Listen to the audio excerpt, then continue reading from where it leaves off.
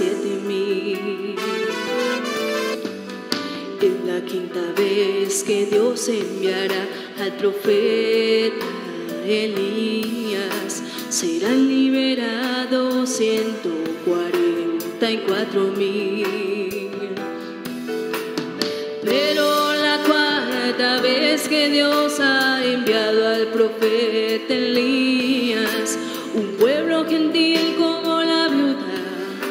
Sarepta obtendrá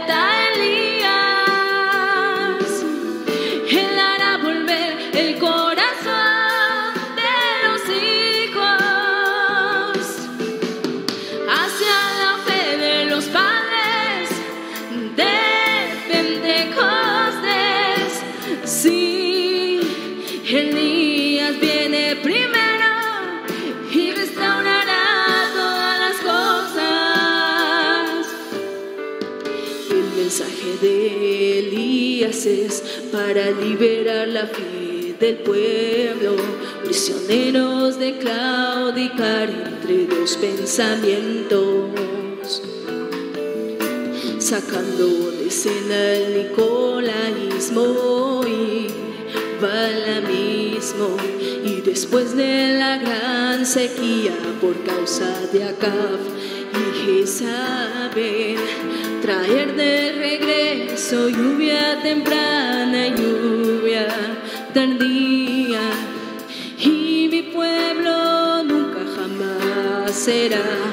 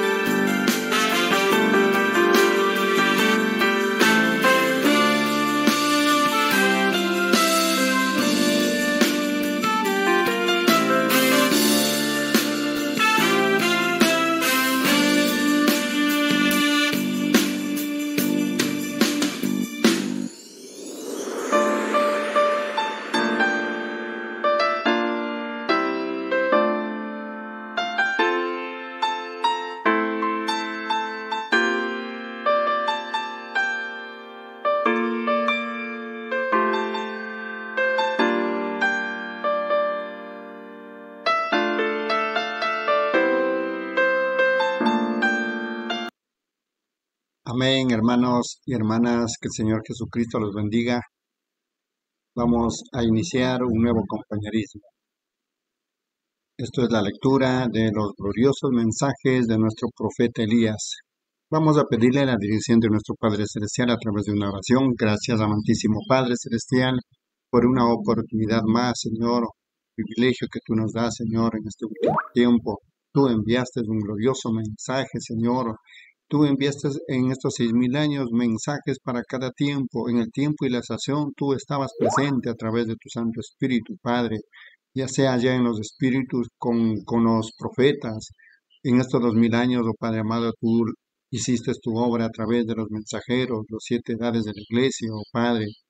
Y eso nos ha abierto nuestros corazones, porque Malaquías 4.5 el último profeta del Antiguo Testamento dijo que aquí os envío el profeta Elías antes que venga el día de Jehová grande y terrible. Tú lo hiciste, oh Padre. Apocalipsis 17 siendo nuestro mensaje de la hora. Apocalipsis 10, 8 al 11 siendo nuestro día, oh Padre amado. Muchas gracias por este privilegio, Señor. Entonces iniciamos este compañerismo Continuamos con la lectura de estos mensajes, Señor, de nuestro profeta Elías. Te lo pedimos, Señor, que una vez más que nos guíes con tu Santo Espíritu, Padre, en nombre del Señor Jesucristo. Amén, mis amados hermanos y hermanas.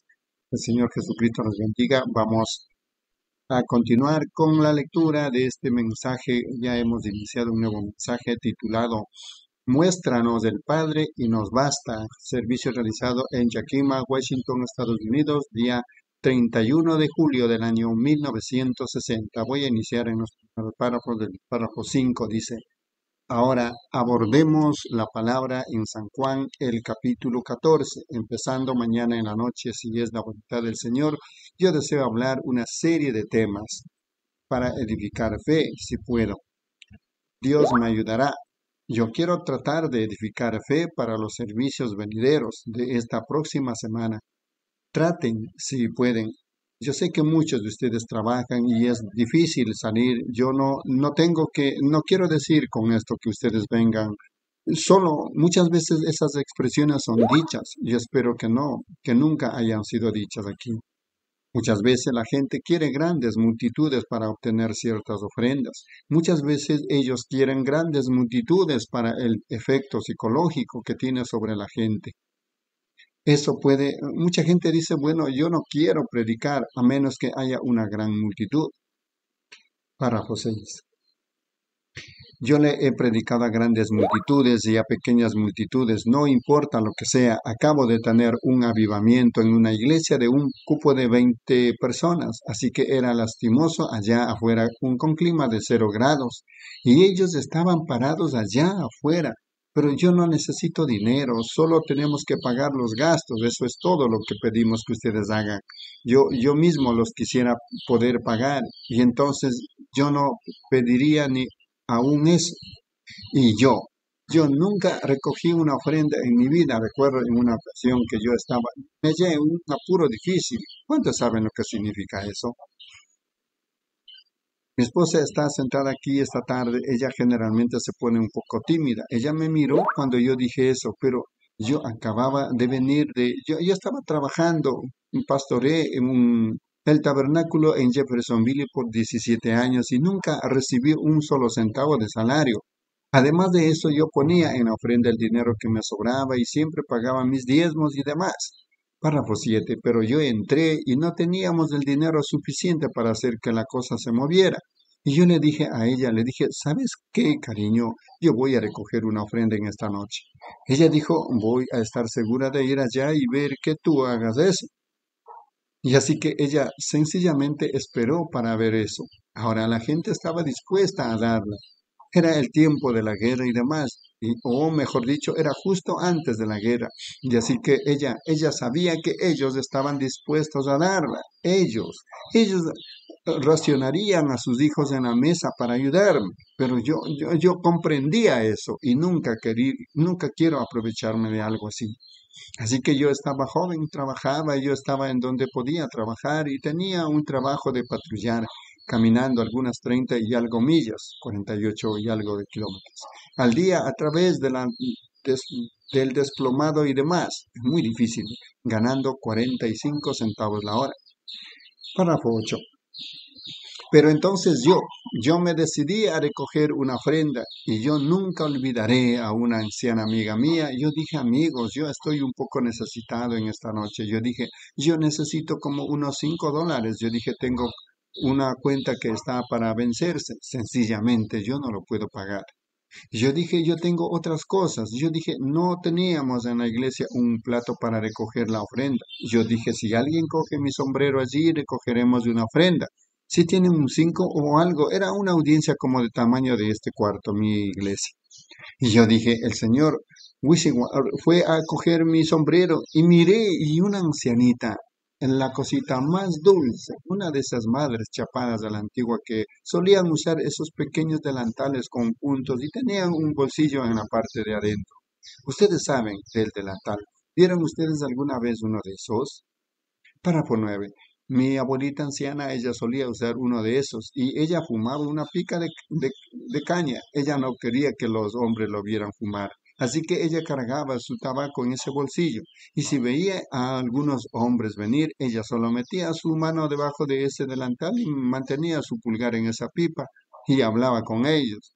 Y después que ellos se iban, ella cruzaba el piso con esa pipa vieja de caña.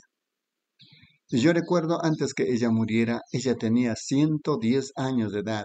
Ella recordaba el asesinato de Abraham Lincoln.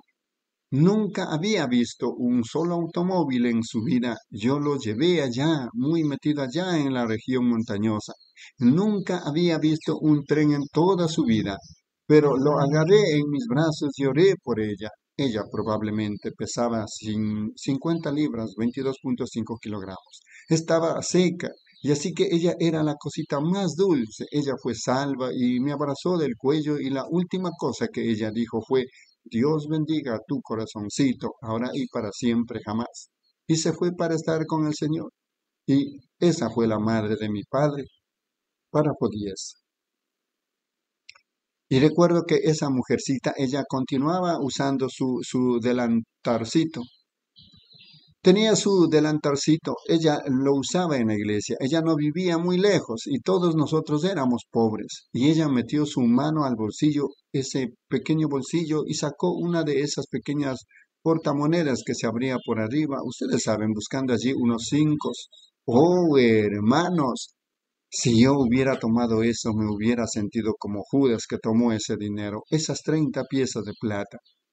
Yo la vi buscando, yo miré eso, y se me hizo un gran nudo. Ustedes saben ese sentir en su garganta como un nudo. Yo dije, uy, yo solo estaba bromeando. Yo no dije eso en serio. Yo dije, yo solo quise hacer ver lo que ustedes dirían. Y allí estaba el diácono en la iglesia con el sombrero en su mano. Él me miró y dijo, ¿qué debo hacer? Yo dije, cuelga mi sombrero. Bueno, yo solo estaba bromeando. Ven, yo sabía que si ella hubiera puesto ese 5 o 6 o ese 10 allí, yo no lo hubiera podido soportar. Así que yo nunca olvidaré, cariño, ella sabe al respecto. Yo dije, me fui y yo tenía una bicicleta vieja que el hermano Johnny Ray, él era, él era realmente uno como los de la casa de David de cabello largo, que él la manejó allá y me lo dio. No era, no era que se había descarriado, sencillamente se había desgastado. Eso era todo. Así que fui allá a la tienda de 10 centavos, baratillo. Y compré uh, un bote de pintura y la pinté y le puse enfrente y la vendí por 5 dólares. Yo no tuve que recoger la ofrenda. Así que eso fue lo más cerca que llegué de recoger una ofrenda párrafo 11. Así que no estamos aquí para ese propósito, estamos aquí para tratar de ayudarlos a ustedes, para tratar de hacer algo para hacer, para hacerlo aquí al, al vecindario un poquito más fácil para hacer el bien y un poquito más fácil, difícil para hacer el mal, hacer la vida un poco más placentera para ustedes. Quizás que Dios sane sus enfermedades y alargue sus días, salve a los perdidos, ayude a las iglesias, estos son mis patrocinadores. Ellos son hombres que creen la misma cosa que yo creo. Ellos no estarían sentados aquí si no la creyeran. Y ellos para mí son lo mejor. Ahora, yo, yo digo eso en serio, no para hacer...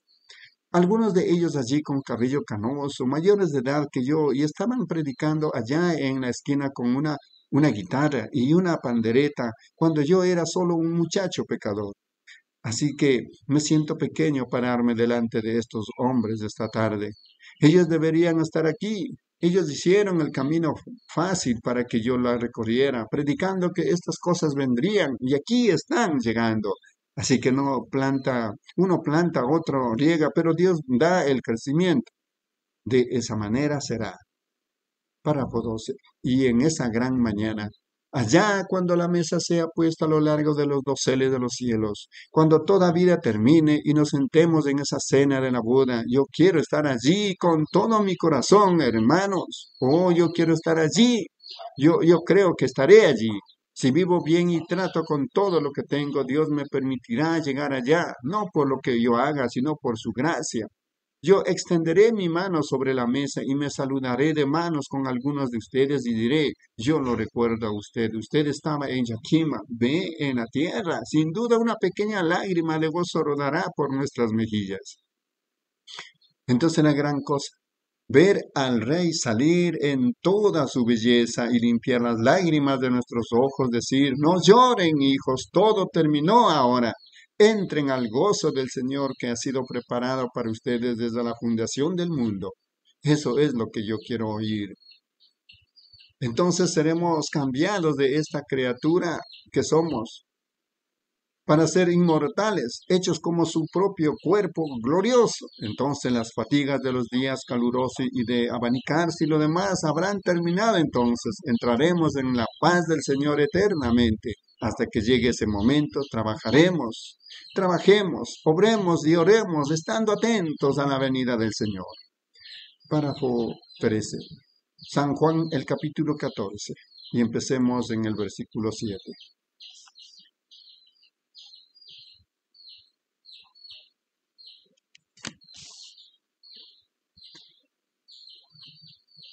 Y leamos hasta el versículo 12, inclusive Jesús hablando. Si me conocieseis, también a mi Padre conoceríais. Y desde ahora le conociseis y le habéis visto. Felipe le dijo, Señor, muéstranos al Padre y nos basta. Jesús le dijo, tanto hace que estoy con vosotros y no me has conocido, Felipe. El que me ha visto a mí, ha visto al Padre. ¿Cómo dices tú, muéstranos al Padre? ¿No crees que yo soy en el Padre y el Padre en mí? Las palabras que yo os hablo no las hablo por mi propia cuenta, sino que el Padre que mora en mí, Él hace las obras. Creedme que yo soy en el Padre, el Padre en mí. De otra manera, creedme por las mismas obras. De cierto, de cierto, os, de cierto, de cierto os digo, el que en mí cree las obras que yo hago, él las hará también, y aún mayores hará, porque yo voy al Padre. Y mi tema esta tarde es, muéstranos el Padre y nos basta. Bastar significa ser suficiente. Si tú nos muestras el Padre, eso nos es suficiente. Párrafo 14 por último. Ahora, yo voy a tomar esto. Ha sido el deseo del corazón humano desde que ha habido un humano. Ellos quieren saber dónde está Dios. Si yo únicamente pudiera ver a Dios. Y yo voy a hablar de cuatro maneras diferentes para ver a Dios. Y anoche yo tomé el tema de señores en el capítulo 12 de San Juan. Señores, quisiéramos ver a Jesús. Y yo creo que todos los que estuvieron aquí anoche en su mente cabal y saben algo tocante a la escritura, lo vieron a Él obrando entre el pueblo. Si no lo vieron, yo creo que ustedes casi han pasado toda esperanza. Ven, si ustedes, si ustedes no lo vieron, Después de que la escritura fue trazada sólidamente desde Génesis en adelante, por toda la escritura, exactamente lo que Él prometió aquí en los últimos días. Y aquí lo vimos a Él llegar en el edificio anoche. Pues el cristiano mira a lo, a lo invisible. ¿Saben ustedes eso? Toda la armadura cristiana es invisible. Amor, gozo, paz, tolerancia, bondad, mansedumbre, benignidad, paciencia, todos los frutos del Espíritu son invisibles. Amén, mis amados hermanos y hermanas, que el Señor Jesucristo los bendiga a todos. Estamos lecturando este glorioso mensaje y vamos a continuar.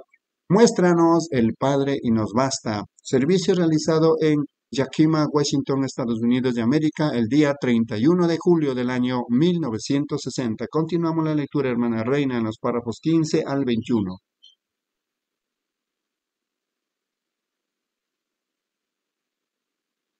Amén. Dios le bendiga, hermanos y hermanas. Continuando con la lectura del mensaje, muéstranos el Padre y nos basta. Párrafo 15.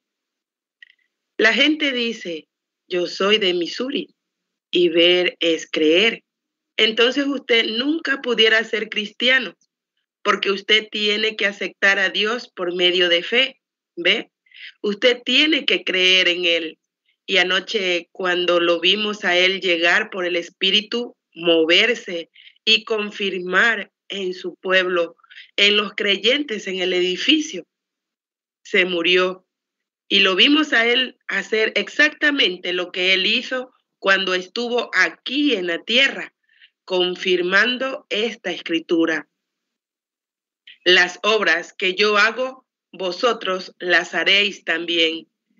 Y viendo los mismos resultados a través de seres humanos tan sometidos a Dios, al grado que el Espíritu Santo pudo obrar a través de esos seres humanos, igual que el Espíritu Santo obró a través de Jesús, quien acababa de confesar allí que yo y mi Padre somos uno. Mi Padre mora en mí, Él hace las obras no son mis palabras, son sus palabras. ¿Ven? Él estaba tan sometido a Dios y él murió y santificó a una iglesia en la que él pudiera vivir para continuar sus obras hasta el segundo advenimiento de su venida, cuando él venga la segunda vez. 16. Ahora, vamos a ver si podemos ver a Dios ¿A cuánto les gustaría ver a Dios? Levanten sus manos. Yo, yo sé que es algo juvenil, pero nosotros debemos ser niños. Cuando llegamos a saber mucho, entonces no sabemos nada que deberíamos saber, dice la Biblia. Nosotros nunca queremos tener un gran sentimiento intelectual de que somos superiores a alguien o sabemos más que alguien más. Solo sean comunes y, y sencillos. La gente trata de explicar a Dios y lo pasan sin darse cuenta. La gente busca a Dios muy allá cuando Él está parado aquí. ¿Ven? Eso es. Usted solo, usted, la simplicidad de ellos solo confunde a la grande y poderosa mente intelectual que lo trata de hacer a Él algo que está muy allá y no se puede alcanzar. Él está aquí con nosotros. Él es Dios. Solo una, Él es parte de ustedes. Él es una fibra de ustedes. Nosotros somos carne de su carne y hueso de su hueso. Nosotros somos parte de Él porque somos sus hijos. Y Dios mora en nosotros igual que Él moró en su Hijo, Cristo Jesús. 17. Ahora vamos a mirar a Dios en cuatro maneras. Miren, tres es una confirmación, pero vamos a añadir una extra esta tarde para hacerlo más seguro. Cualquiera sabe que, que dos es un testigo, tres es una confirmación. Yo, los judíos le dijeron a Jesús, nosotros sabemos que tú eres un, un demonio, porque tú hablas de ti mismo. Se necesitan dos para hacer un testigo. Jesús dijo, yo soy uno, y el Padre que habita en mí es el otro. Si ustedes no me pueden creer, crean las obras que Él está haciendo en mí. ¿Ven? Así que eso hizo una confirmación de dos. Pero miren, tres. Y ahora vamos a tomar cuatro maneras de ver a Dios.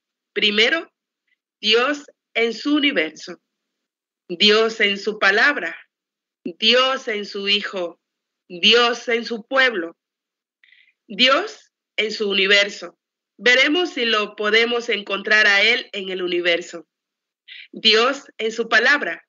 Veremos si lo podemos encontrar a Él en la palabra. Dios en su Hijo. Veremos si Él está en su Hijo. Luego, Dios en su pueblo y veremos si Él está en su pueblo. Esas son las cuatro maneras que podemos ver a Dios. El ateo dice, déjame verlo a él. 18. Hace algún tiempo yo estaba predicando en una esquina y estaba allí un ateo que estaba hablando en la siguiente esquina y él estaba, tenía la Biblia allí. Dijo, es el libro más bajo y vulgar que alguna vez se escribió. Y oh, él seguía hablando así. Era, había sido un sacerdote, o mejor dicho, había estudiado para ser un sacerdote en un monasterio. Y era muy buen teólogo y sabía la palabra. Y así que él estaba masticando tabaco y él yo estaba parado al otro al lado de una tiendita de comestibles. Y cuando él entró para comprar comestibles, entonces ahí el predicador y el ateo se encontraron. Así que él dijo, oh, tú eres ese predicador que está haciendo mucha gritería allí. Sí, Señor, yo soy. Y él dijo, ¿crees tú esas cosas que estás diciendo? Yo dijo, yo dije con todo mi corazón, las creo. 19. Y yo sabía que él era inteligente para estar en un monasterio. ¿Ven ustedes? Así que yo dije, sí, Señor, yo, yo las creo con todo mi corazón. Así que sabía que su inteligencia era demasiada para que yo compitiera con ella. Pero yo sabía que tenía a un Dios que podía competir con todo lo que el diablo pudiera sacar. Así que solo me esperé para ver lo que Dios iba a decir. Él dijo, si yo te puedo probar que no hay una sola cosa verdadera respecto a lo que tú estás hablando, ¿lo aceptarías? Yo dije, no creo que usted lo pudiera hacer. Él dijo, no hay tal cosa como Dios.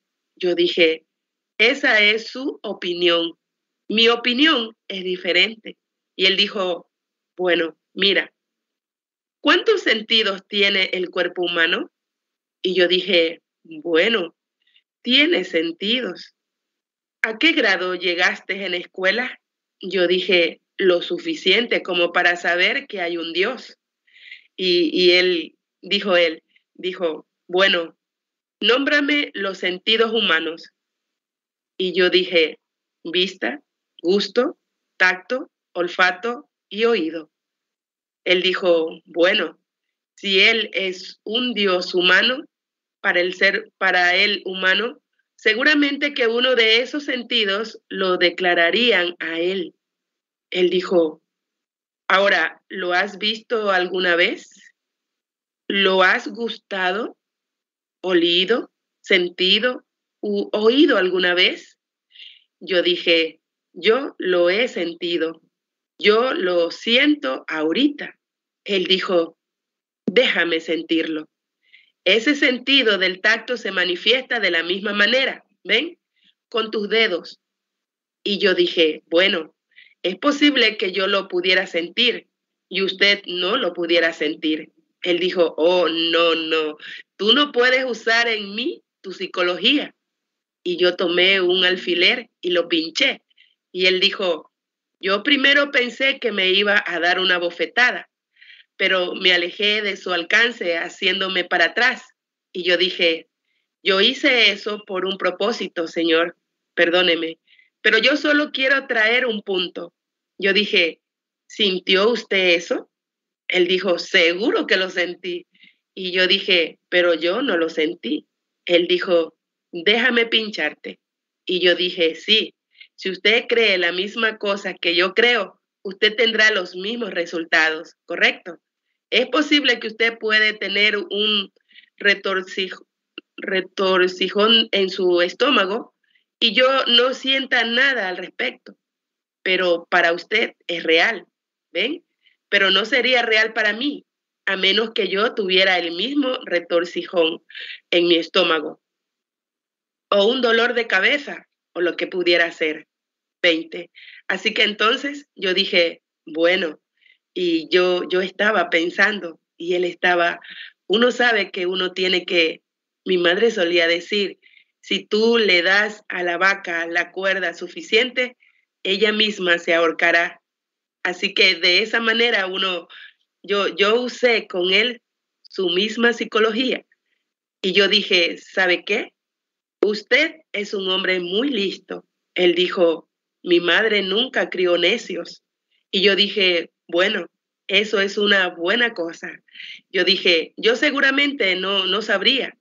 Yo no lo pudiera decir, porque la Biblia dice, el necio dice en su corazón que no hay Dios, como ustedes saben, pero yo, yo no podía decir eso en ese momento, porque yo le estaba dando cuerda hasta el punto en donde yo lo quería a él.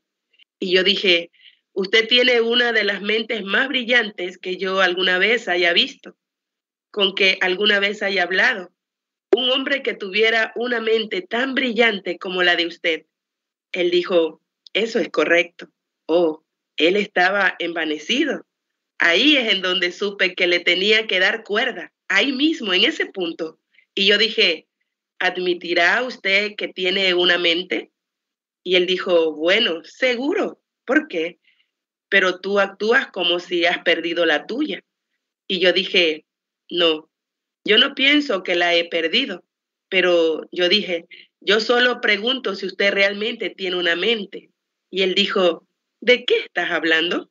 Yo dije, es una mente humana, ¿no lo es? Él captó ahí mismo lo que yo iba a hacer. Él dijo, ahora, yo dije, no, señor, yo fui un caballero. Yo le contesté a usted. Yo dije, nómbreme los sentidos del cuerpo. Bueno, él dijo, tú lo sabes. Yo dije, quiero que usted los nombre. Yo dije, yo sé los nombres a usted cuando, yo se los nombré a usted cuando le dije que los sabía. Él dijo vista, gusto, tacto, olfato y oído. Yo dije, ¿has visto, ha visto usted alguna vez su mente? ¿La ha olido, gustado, oído? ¿Usted alguna vez? No. Yo dije, entonces usted no tiene una mente. Él dijo, oh, yo sé que tengo una mente. Y yo dije, yo también sé que tengo un Dios, Señor. Yo dije, yo sencillamente sé eso. 21. Así que toda la armadura de Dios es invisible, pero es a lo invisible a lo que el cristiano mira. Así como Abraham llamó las cosas que no eran como si fueran, porque Dios así lo había dicho. Así que vamos a mirar ahora, no a lo invisible esta tarde, sino a las cuatro maneras que vamos. Pudiéramos tomar una docena, pero solo vamos a tomar esas cuatro maneras para una confirmación que Dios vive ahorita mismo. Dios está aquí mismo en esta tarde, aquí mismo en este edificio. Él prometió, donde están dos o tres congregados en mi nombre, allí estoy yo en medio de ellos. Amén. Dios le bendiga, mis hermanos. Amén, amén, gloria a Dios, su palabra. Continuamos con la lectura. Muéstranos el Padre y nos basta. Yakima, Washington, Estados Unidos, día 31 de julio del año 1960. Hermana Edith, Dios le bendiga en los párrafos 22 al 28.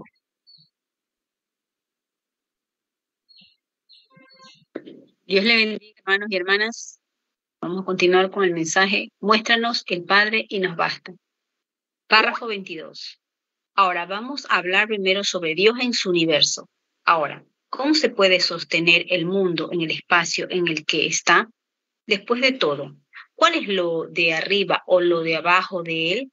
¿Quién lo sabe? Los que están allá en el norte, en el polo sur, sienten que ellos están arriba tanto como los que están en el polo norte. Así que, ven ustedes, eso es solo, ellos señalan en esta dirección la cual es señalar hacia abajo. Y pensamos que estamos, que ellos están señalando hacia arriba. ¿Ven?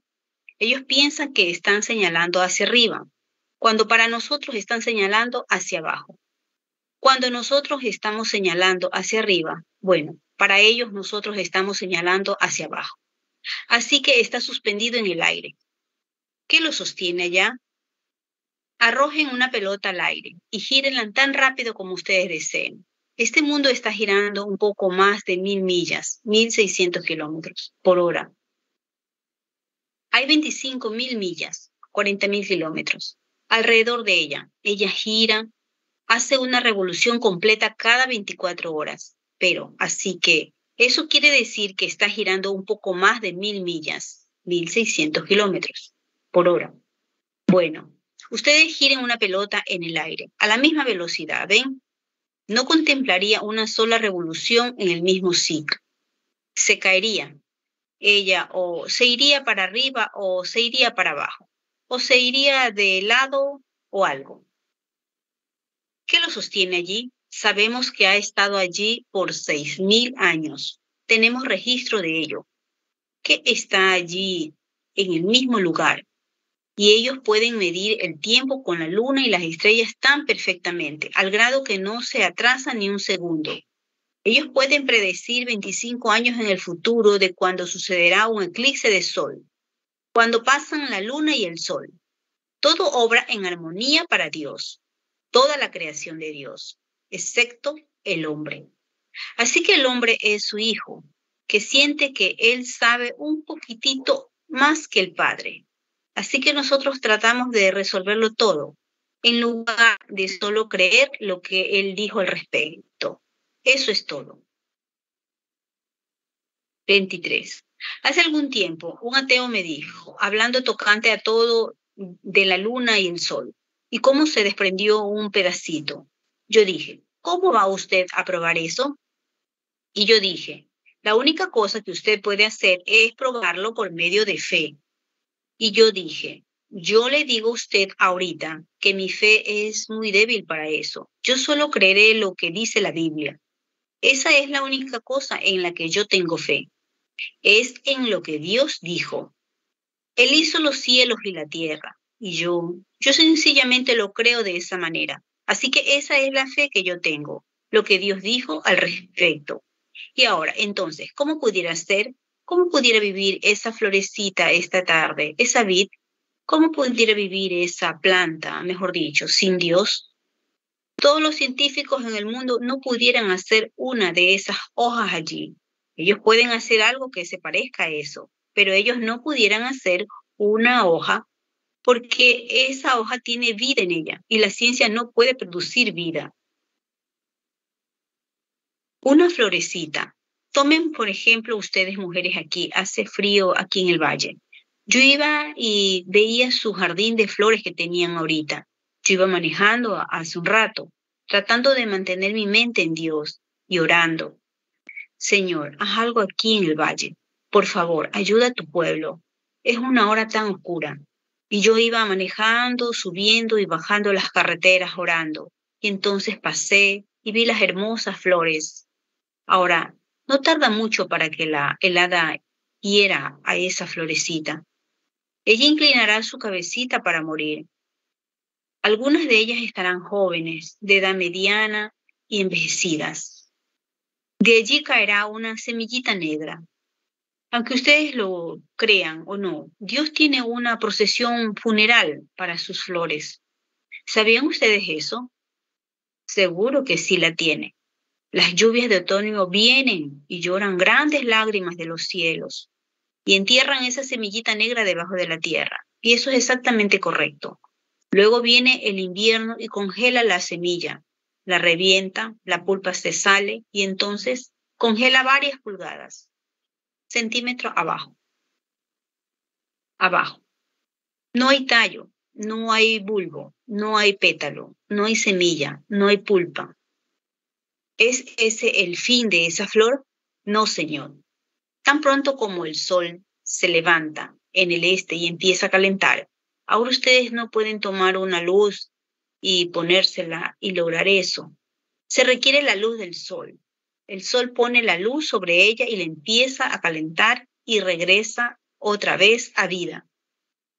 Dios tenía ese pequeño germen de vida escondido en alguna parte para que él pudiera vivir otra vez, porque está en la voluntad de Dios. Es la planta de Dios. Dios la puso aquí para un propósito y no discute ni se agita.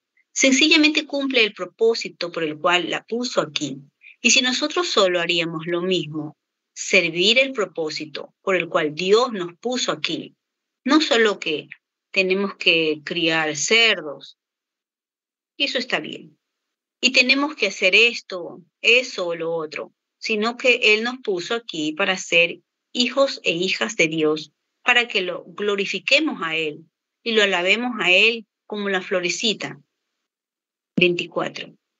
Yo prediqué sobre el tema no hace mucho de mirad los lirios y tomé a Lirio, el pastor Lirio, como él abre su corazón, la abeja toma de él su parte y los turistas que pasan allí huelen. El hermano Branham hace un sonido como alguien oliendo una flor. Es hermoso aroma. Todo obtiene una parte del señor Lirio y él tiene que trabajar día y noche para producir eso. ¿No creen ustedes que Dios está en su universo? Dios está en donde quiera. 25. Allá donde vivo, yo vivo al lado del río Ohio y, y sencillamente me gusta el agua. Y allí había un muchachito que vivía en la ciudad. Y él iba a una iglesia y era un fino muchachito. Y un día él le dijo a su madre, le dijo, mamá, quiero hacerte una pregunta. Dijo, yo oigo al predicador hablar tocante a que Dios es tan grande. Y dijo, ahora, yo solo pregunto si pudiera alguna vez ver a Dios. Bueno, ella dijo, cariño, pregúntale a tu maestra de la escuela dominical. Dijo, mamá, no te pudiera contestar eso. Yo no sé nada tocante a eso. Y así que él le preguntó a la maestra de la escuela dominical y ella dijo, oh, yo no sé tocante a eso. Le deberías preguntar al pastor. Así que él fue y le preguntó al pastor. El pastor dijo, no, hijito, ningún hombre puede ver a Dios. Ningún hombre puede ver a Dios y vivir. Sencillamente no lo puedes ver. 26. Así que el muchachito estaba decepcionado. Él se asociaba con un anciano pescador que vivía en el río. Y un día ellos estaban cerca de, entre paréntesis, perdónenme, la isla de las siete millas, y vino allí una tormenta. El hermano Brandon y se aclara la garganta perdónenme. Y vino allí una tormenta y las aguas. Ustedes saben cómo se pone después de la lluvia. Las hojas están todas lavadas. El pescador anciano entró de nuevo en la barca y empezó a navegar en el río con su barca. Y así como un remero o cualquier barquero sabe, la armonía entre la cresta de la ola y los remos, de esa manera, mientras él navegaba tirando de una caja de peces por detrás. Y allí estaba, el sol salió en el oeste, hacia este lado, y él estaba mirando hacia el este. El anciano pescador estaba y salió un arco iris cruzando los cielos. El muchachito estaba sentado en la popa de la barca, y así que él se empezó a fijar en el anciano pescador con su barba canosa, con las lágrimas, que las lágrimas le empezaron a rodar por sus mejillas mientras él miraba ese arco iris mientras navegaban. Y el muchachito se entusiasmó y corrió hacia el centro de la barca, y abrazó al anciano pescador de las piernas y cayó allí a sus pies. Él dijo, Señor, le voy a hacer a usted una pregunta que mi maestra de la escuela dominical, mi madre, mi pastor, nadie pudo contestar. ¿Puede alguien ver a Dios?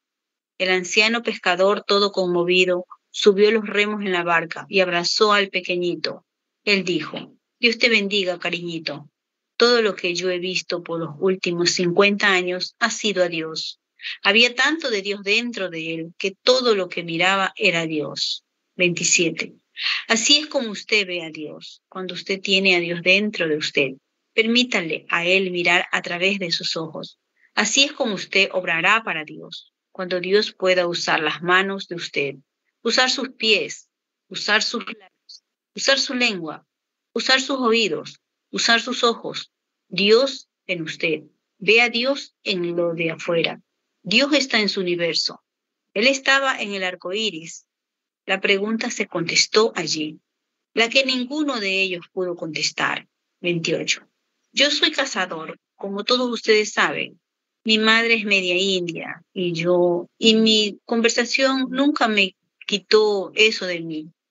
Yo todavía voy a Colorado en donde soy un guía autorizado y cada otoño y voy muy arriba en las montañas en donde por años solía reunir el ganado vacuno y me sentaba allí muchas veces y aprendí mucho tocante a Dios.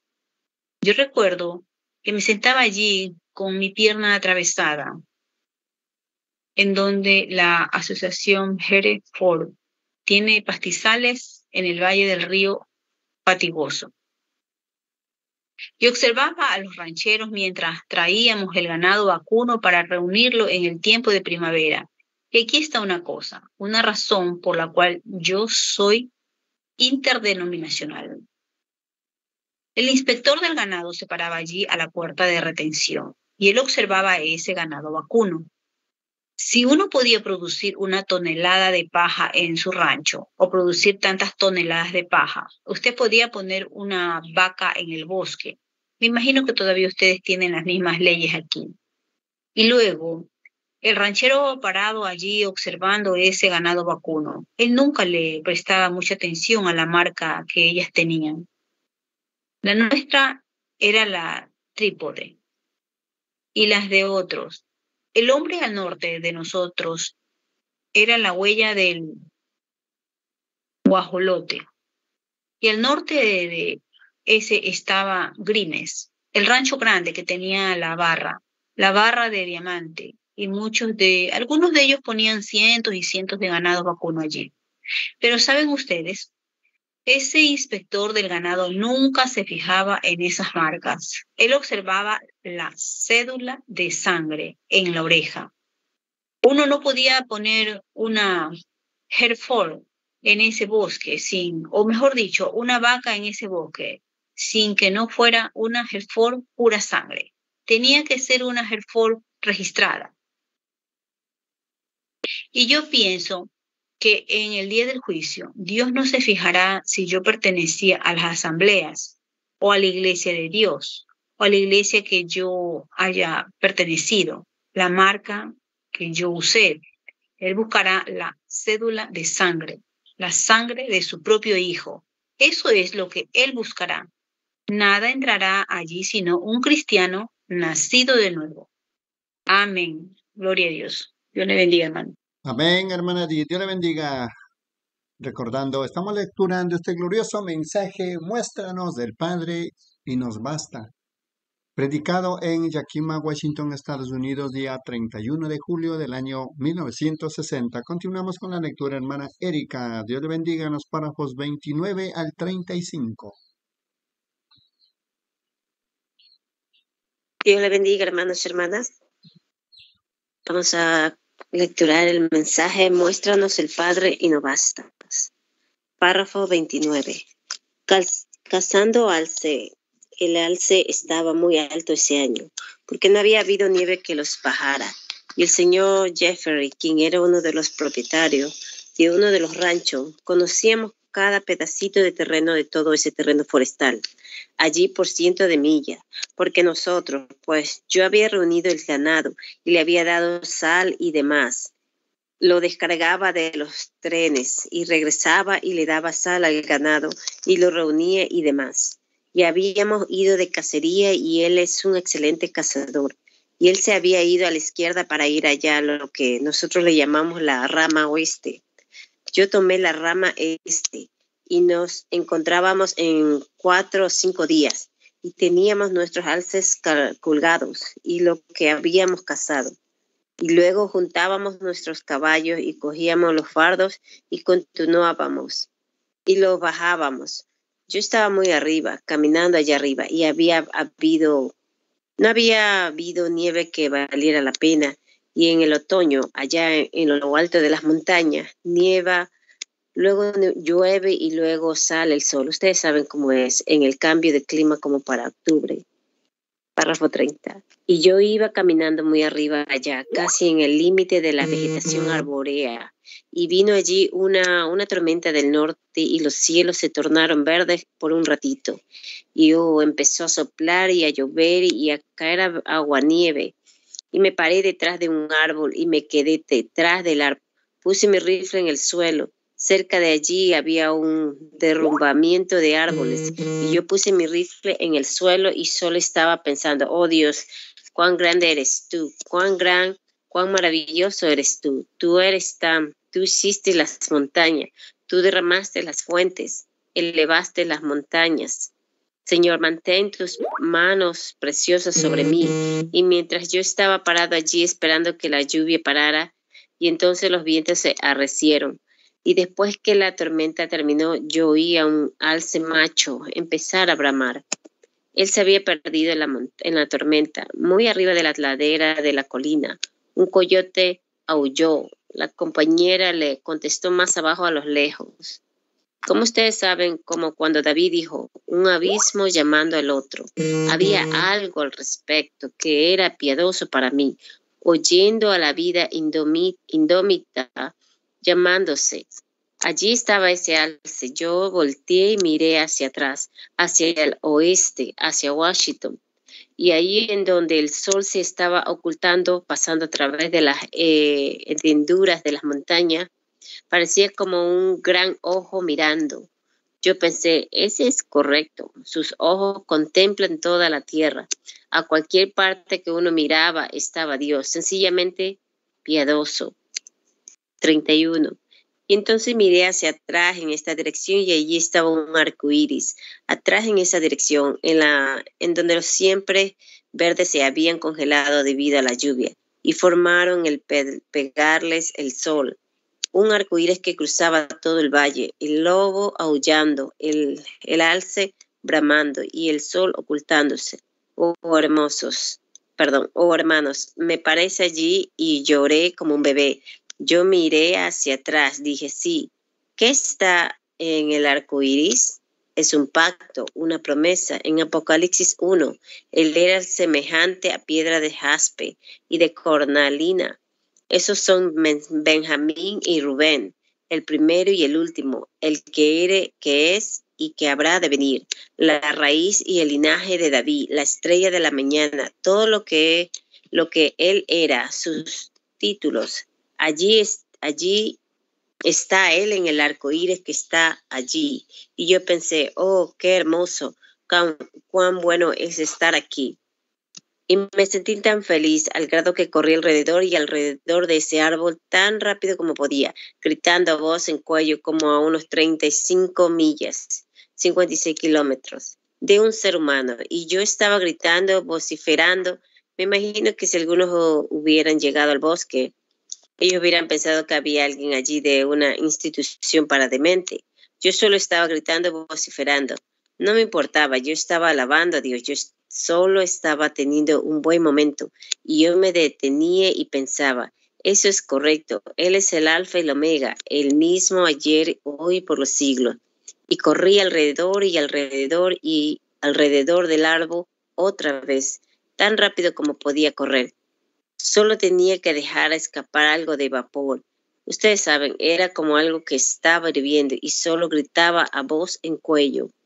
32. Y después de un rato oí a una ardilla, ardillita de pino. Yo no sé si ustedes, hermanos, saben lo que ellas son o no. Es el policía de traje azul de los bosques. Saltó a un tronco allí. Chatra, chatra, chatra, chatra, chatra, chatra. Yo pensé, oh, ¿por qué estás tan alterada, pequeñita? Yo estoy adorando al Dios que te creó. Y alrededor y alrededor del árbol corrí otra vez, tan rápido como podía. Yo pensé, bueno, yo estoy adorando al mismísimo Dios que te creó. Él es, el, él es mi creador. Yo lo amo, lo estoy adorando y continué corriendo alrededor del árbol y después de un rato yo dije, ¿no te gusta eso? Tú misma lo deberías hacer. Tú eres una criatura de Dios, tú misma lo deberías adorar. Me vine a dar cuenta que ella no me estaba observando a mí. Ella hacía su cabecita hacia un lado y miraba hacia abajo, hacia ese derrumbamiento de árboles. Los vientos habían obligado a bajar un, águila allí. 33. Miren, un águila es una de mis aves favoritas. Dios compara sus profetas a águilas. A él le gusta, él mismo dice, el mismo es un águila, Jehová águila. Quizás si es la voluntad del Señor, me gustaría predicarles a ustedes en una ocasión sobre eso, como el águila que excita su nidada. Y entonces, así que entonces cuando ella estaba mirando hacia abajo de esa manera, ella estaba observando a esa águila allí abajo, y esa grande águila saltó allí, sus ojos grandes y grises, y yo pensé, ah, eso era lo que te alteró. ¿Ah? Bueno, yo empecé a estudiar eso y pensé, Señor, yo sé que tú estás en bramido de ese alce, tú estás en el llamado de ese lobo, tú estás en el arcoíris, tú estás en la puesta del sol, tú estás en mí, tú sencillamente estás en todas partes, tú estás en todas las flores, tú, tú estás en todas partes. Ahora, ¿cómo me pudiste tú detener de adorarte para permitirme ver a esa águila parada allí? Ahora, no hay nada tocante a la ardilla. Ella es un ladrón. Bueno, pero ¿de qué? De, ¿Pero qué de ella? Yo dije, ¿por qué la trajiste aquí? ¿Qué es? Yo veo a Dios allá en ellos, pero yo no puedo ver a Dios en esa águila. Bueno, sucedió que me fijé allí. Yo dije, oye, fulano, ¿sabes tú que yo te pudiera matar? Ahora, ¿sabías que yo la estaba admirando? Me gustaba su valentía. Ella estaba observando. Me fijé que ella, porque no tenía miedo de mí, y me fijé que estaba moviendo sus alas, ustedes saben, sus plumas y las sentía de esa manera, ¿ven? Solo yo pensé, ah, ya veo, ya veo, Señor, ¿ven? No tiene miedo, ella tiene dos alas dadas por Dios. Ella sabe que antes que yo pudiera tocar ese rifle, ella podía estar en ese bosque allá y yo ya no la vería más, ¿ven? Y yo pensé, si ella pudiera, si esa águila por medio de esas dos alas dadas por Dios que la pueden alejar de problemas, cuánto mucho más debería una iglesia cuando ella puede sentir el poder del Espíritu Santo alrededor de ellos. ¿Qué deberíamos hacer nosotros? Deberíamos ser capaces de alejarnos volando por fe de toda enfermedad, de toda dolencia y de todo lo del mundo, si podemos sentir la presencia de Dios.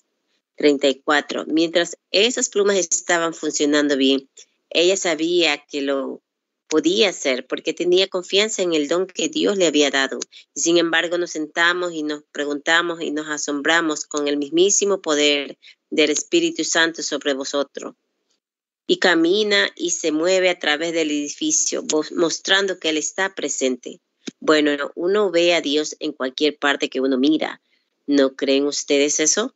Dios está en un águila, Dios está en el llamado de un lobo, Dios está en una puesta del sol. Dios está en su universo. Dios está en sus flores. Bueno, Dios está en todas partes. Si ustedes solo miran alrededor. 35. Para finalizar esa historia, esa águila yo la observé por un ratito y esa pequeña, pequeña ardilla de pino estaba allí mirándome. Ustedes saben, chátara, chátara, mirando al águila. Y después de un rato el águila se hartó de eso Así que ella solo dio un gran salto, movió sus alas repetidamente como unas dos veces y desapareció. Ahora me fijé que ella nunca movió sus una pluma después de eso cuando ella subió por encima de ese pino verde. Ella solo posicionó sus alas, ella sabía cómo hacerlo y cuando ese viento soplaba subiendo, soplaba subiendo hacia la montaña, cada vez que el viento soplaba, el hermano Branja hace un sonido como viento. Ella solo cabalgaba sobre él, cabalgaba sobre él. Yo me quedé allí y la miré. Oh, hermanos, ella se iba haciendo más pequeña y más pequeña hasta que la perdí de vista. Y yo pensé, eso es, eso es, Señor. ¿Ven? No es cuando usted está enfermo o necesitado. No es aleatar, aleatar hacia esto, llevar su carta a esa iglesia y así a las asambleas no lo traten bien. Usted se va a la iglesia de Dios y si usted se regresa a la, a la, bautista. Eso no es, es solo saber cómo posicionar sus alas de fe en el poder de Dios y alejarse de aquellos cabalgando, seguir adelante, perdón. Cuando el Espíritu Santo se empiece a mover, solo cabalgue sobre, sobre él. No es alietar, alietar, alietar, alietar, alietar. Bueno, yo me iré allá si ustedes no me tratan bien. Yo me regresaré acá. Yo pasaré por la fila de oración de Roberts. El hermano Branham viene. Pasará por la de él. Eso no es. Posesione su fe en el poder de Dios y aléjese. Dios le bendiga, hermanos. Amén, hermana Erika. Dios le bendiga. Continuamos con la lectura. Muéstranos del Padre y nos basta. Yakima, Washington, Estados Unidos, día 31 de julio del año 1960. Voy a continuar en los párrafos 36. Dice, ella dejó a esa ardillita listada, pero mejor dicho, esa ardilla allí haciendo chatara, chatara, chatara. Los días de los milagros han pasado. No hay tal cosa como sanidad divina. No hay bautismo del Espíritu Santo. Ella sencillamente se alejó cabalgando allí. Oh, hermano, eso es lo que queremos hacer, elevarnos por encima de ellos, separarnos de esa gente que dice, no hay tal cosa como sanidad divina.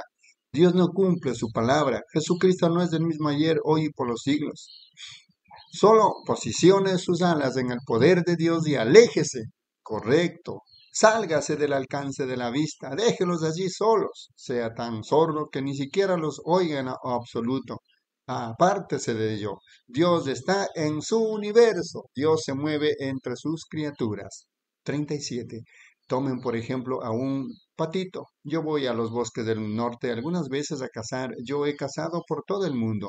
Voy a los bosques del norte. Allí hay un patito que nació allí en ese lago. Él nunca estuvo fuera de ese lago. Él nació allí esa primavera. Pero de alguna manera u otra, cuando las cumbres de las montañas se cubren de nieve y esa primera brisita fría baja de la montaña, hay un cierto patito en ese lago. Él es un anademacho.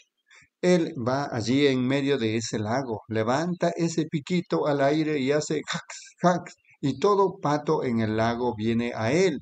Sí, señor. ¿Qué hace él? Levanta el vuelo de ese. Recuerden de que él nunca estuvo fuera de ese lago, pero él levantará el vuelo de ese lago y guiará, guiará a cada uno de esos patos tan directo como pueda Luciana a los campos de arroz. Si él no lo hace, todos se congelarían se congelarán.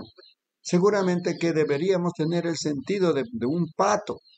Si Dios puede usar el instinto de un pato para guiar a su pueblo, o mejor dicho, a sus amigos patitos, para alejarse de un lugar que se congelará, seguramente que el poder del Espíritu Santo nos debería guiar a Cristo, quien es nuestro sanador, y alejarnos del peligro. Dios le dio al pato un instinto, él les dio a ustedes el Espíritu Santo. Oh, me siento religioso ahorita. Sí, sí me siento. Sí, eh, sí nos dio el Espíritu Santo para escapar esas cosas. Seguramente que sí. Ustedes tomen, por ejemplo, prendan su radio y dice, mañana va a ser un clima frío o va a ser un, un clima caliente. O lo que dijera la radio.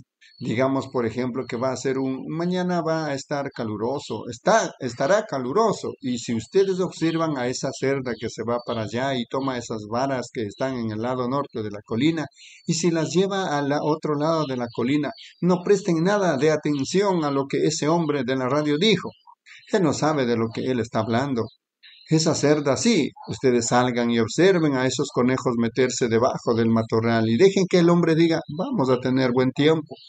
No le presten nada de atención a lo que él dice. Ese conejo sabe más que lo que él alguna vez sabrá tocante a eso. Dios le ha dado al conejo una manera para escapar las cosas y él cree que eh, en ella y se prepara para eso. 38. Como Noé lo hizo con el arca. Él preparó el arca antes que cayera cualquier lluvia. Amén.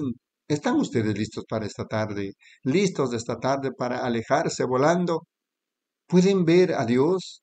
Apártense de esas enfermedades, de estas enfermedades y dolencias y dudas y nerviosismos. Dios está en su universo.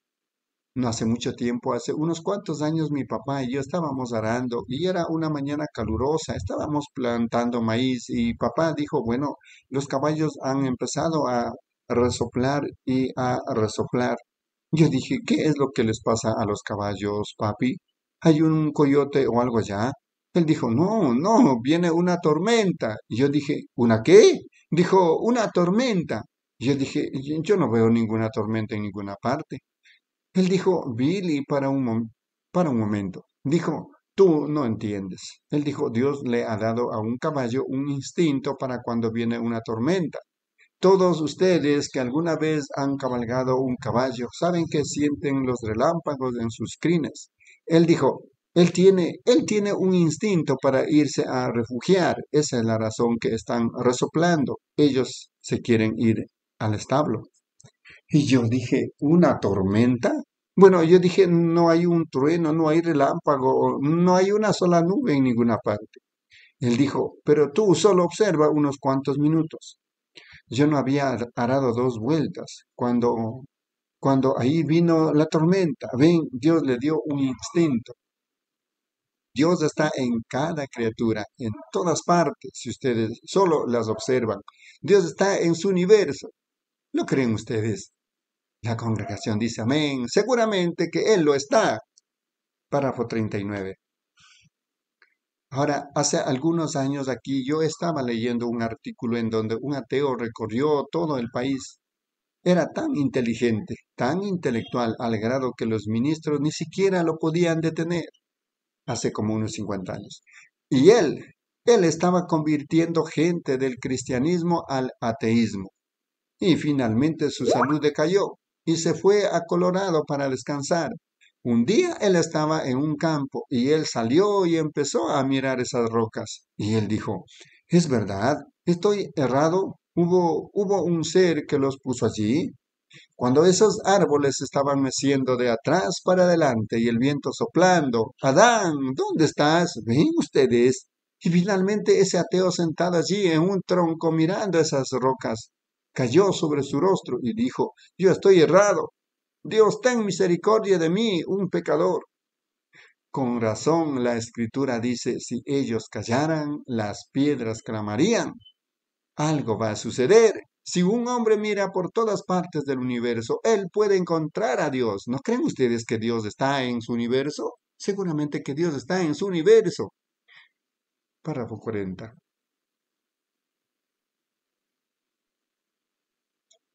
Ahora vamos a tomar a Dios en su palabra, solo por un minuto. ¿Cuántos creen que Dios está en su universo? Seguro que Él está en su universo. Pudiéramos seguir toda la tarde, pero no queremos, queremos llegar a estos otros dos puntos. Ahora, ¿pueden ver ustedes a Dios en su universo? ¿Cuántos pueden ver a Dios en su universo en todas estas cosas diferentes? Seguro que ustedes pueden ahora, veamos si Dios está en su palabra. Dios está en su palabra tanto así que en el principio era la palabra y la palabra era con Dios y la palabra era Dios. Y la palabra fue hecha carne y habitó entre nosotros. Párrafo 41. Dios está en su palabra, creemos eso, Él la cumple. Lo podemos ver cuando Dios habla algo, observemos que esa palabra viene y se manifiesta, se cumple exactamente lo que Él dice. Así que nosotros sabemos que Dios está en su palabra. Él le dijo a Abraham que él iba a tener un bebé por medio de Sara y él esperó 25 años. Dios cumplió su palabra. Le dijo a Noé que iba a llover y todas las cosas que él dijo. Él les dijo a 120 que subieran y esperaran en Jerusalén hasta que llegara el día de Pentecostés. Él iba a enviar una promesa del Padre. Él cumplió su palabra. Él siempre cumple su palabra. Él dijo, estas cosas que yo hago, ustedes la harán también. Él cumple su palabra. Un poco más del mundo, el orden mundial. El orden del mundo. No me verá más, pero vosotros me veréis. Yo estaré con vosotros, en vosotros, hasta el fin del mundo. Él cumple su palabra. Dios está en su palabra. Párrafo 42 por último. Miren como dije la otra noche, Dios es, la palabra de Dios es una semilla. Jesús dijo que un sembrador salió a sembrar y esa semilla brotó y, demás. Ahora, cada semilla es la clase correcta de semilla, producirá lo que es ella. Ella misma se reproducirá. Algunos cuantos, hace como unos tres años o cuatro, yo estaba sentado en una, una confitería comiendo un, un helado de leche con un anciano predicador metodista, amigo mío. Él ahora ya perdió a la gloria. Y estábamos sentados allí hablando tocante a la bondad de Dios. Él era el mismo ministro que compuso esa alabanza. Déjanos, dejamos caer las trancas, dejamos caer las trancas. Nos comprometimos con el pecado, dejamos caer las trancas. Las ovejas se salieron, pero ¿cómo entraron los chivos? Yo, yo dije, bueno, eso es fácil. Dejar caer las trancas, eso es todo. Ustedes se empezaron a comprometer y así es como entraron los chivos, se comieron toda la comida de las ovejas. Y a ellos no les gusta eso, ellos tienen que comer hierbas, hierbas eclesiásticas. Los chivos comen, comen, se satisfacen con hierbas, pero una oveja tiene que comer comida verdadera. Amén. Amén, mis amados hermanos y hermanas. Continuamos con la lectura de este glorioso mensaje titulado Muéstranos el Padre y nos basta. Servicio realizado en Yakima, Washington, Estados Unidos, día 31 de julio del año 1960. Hermana Reina, por favor, en los párrafos 43 al 49.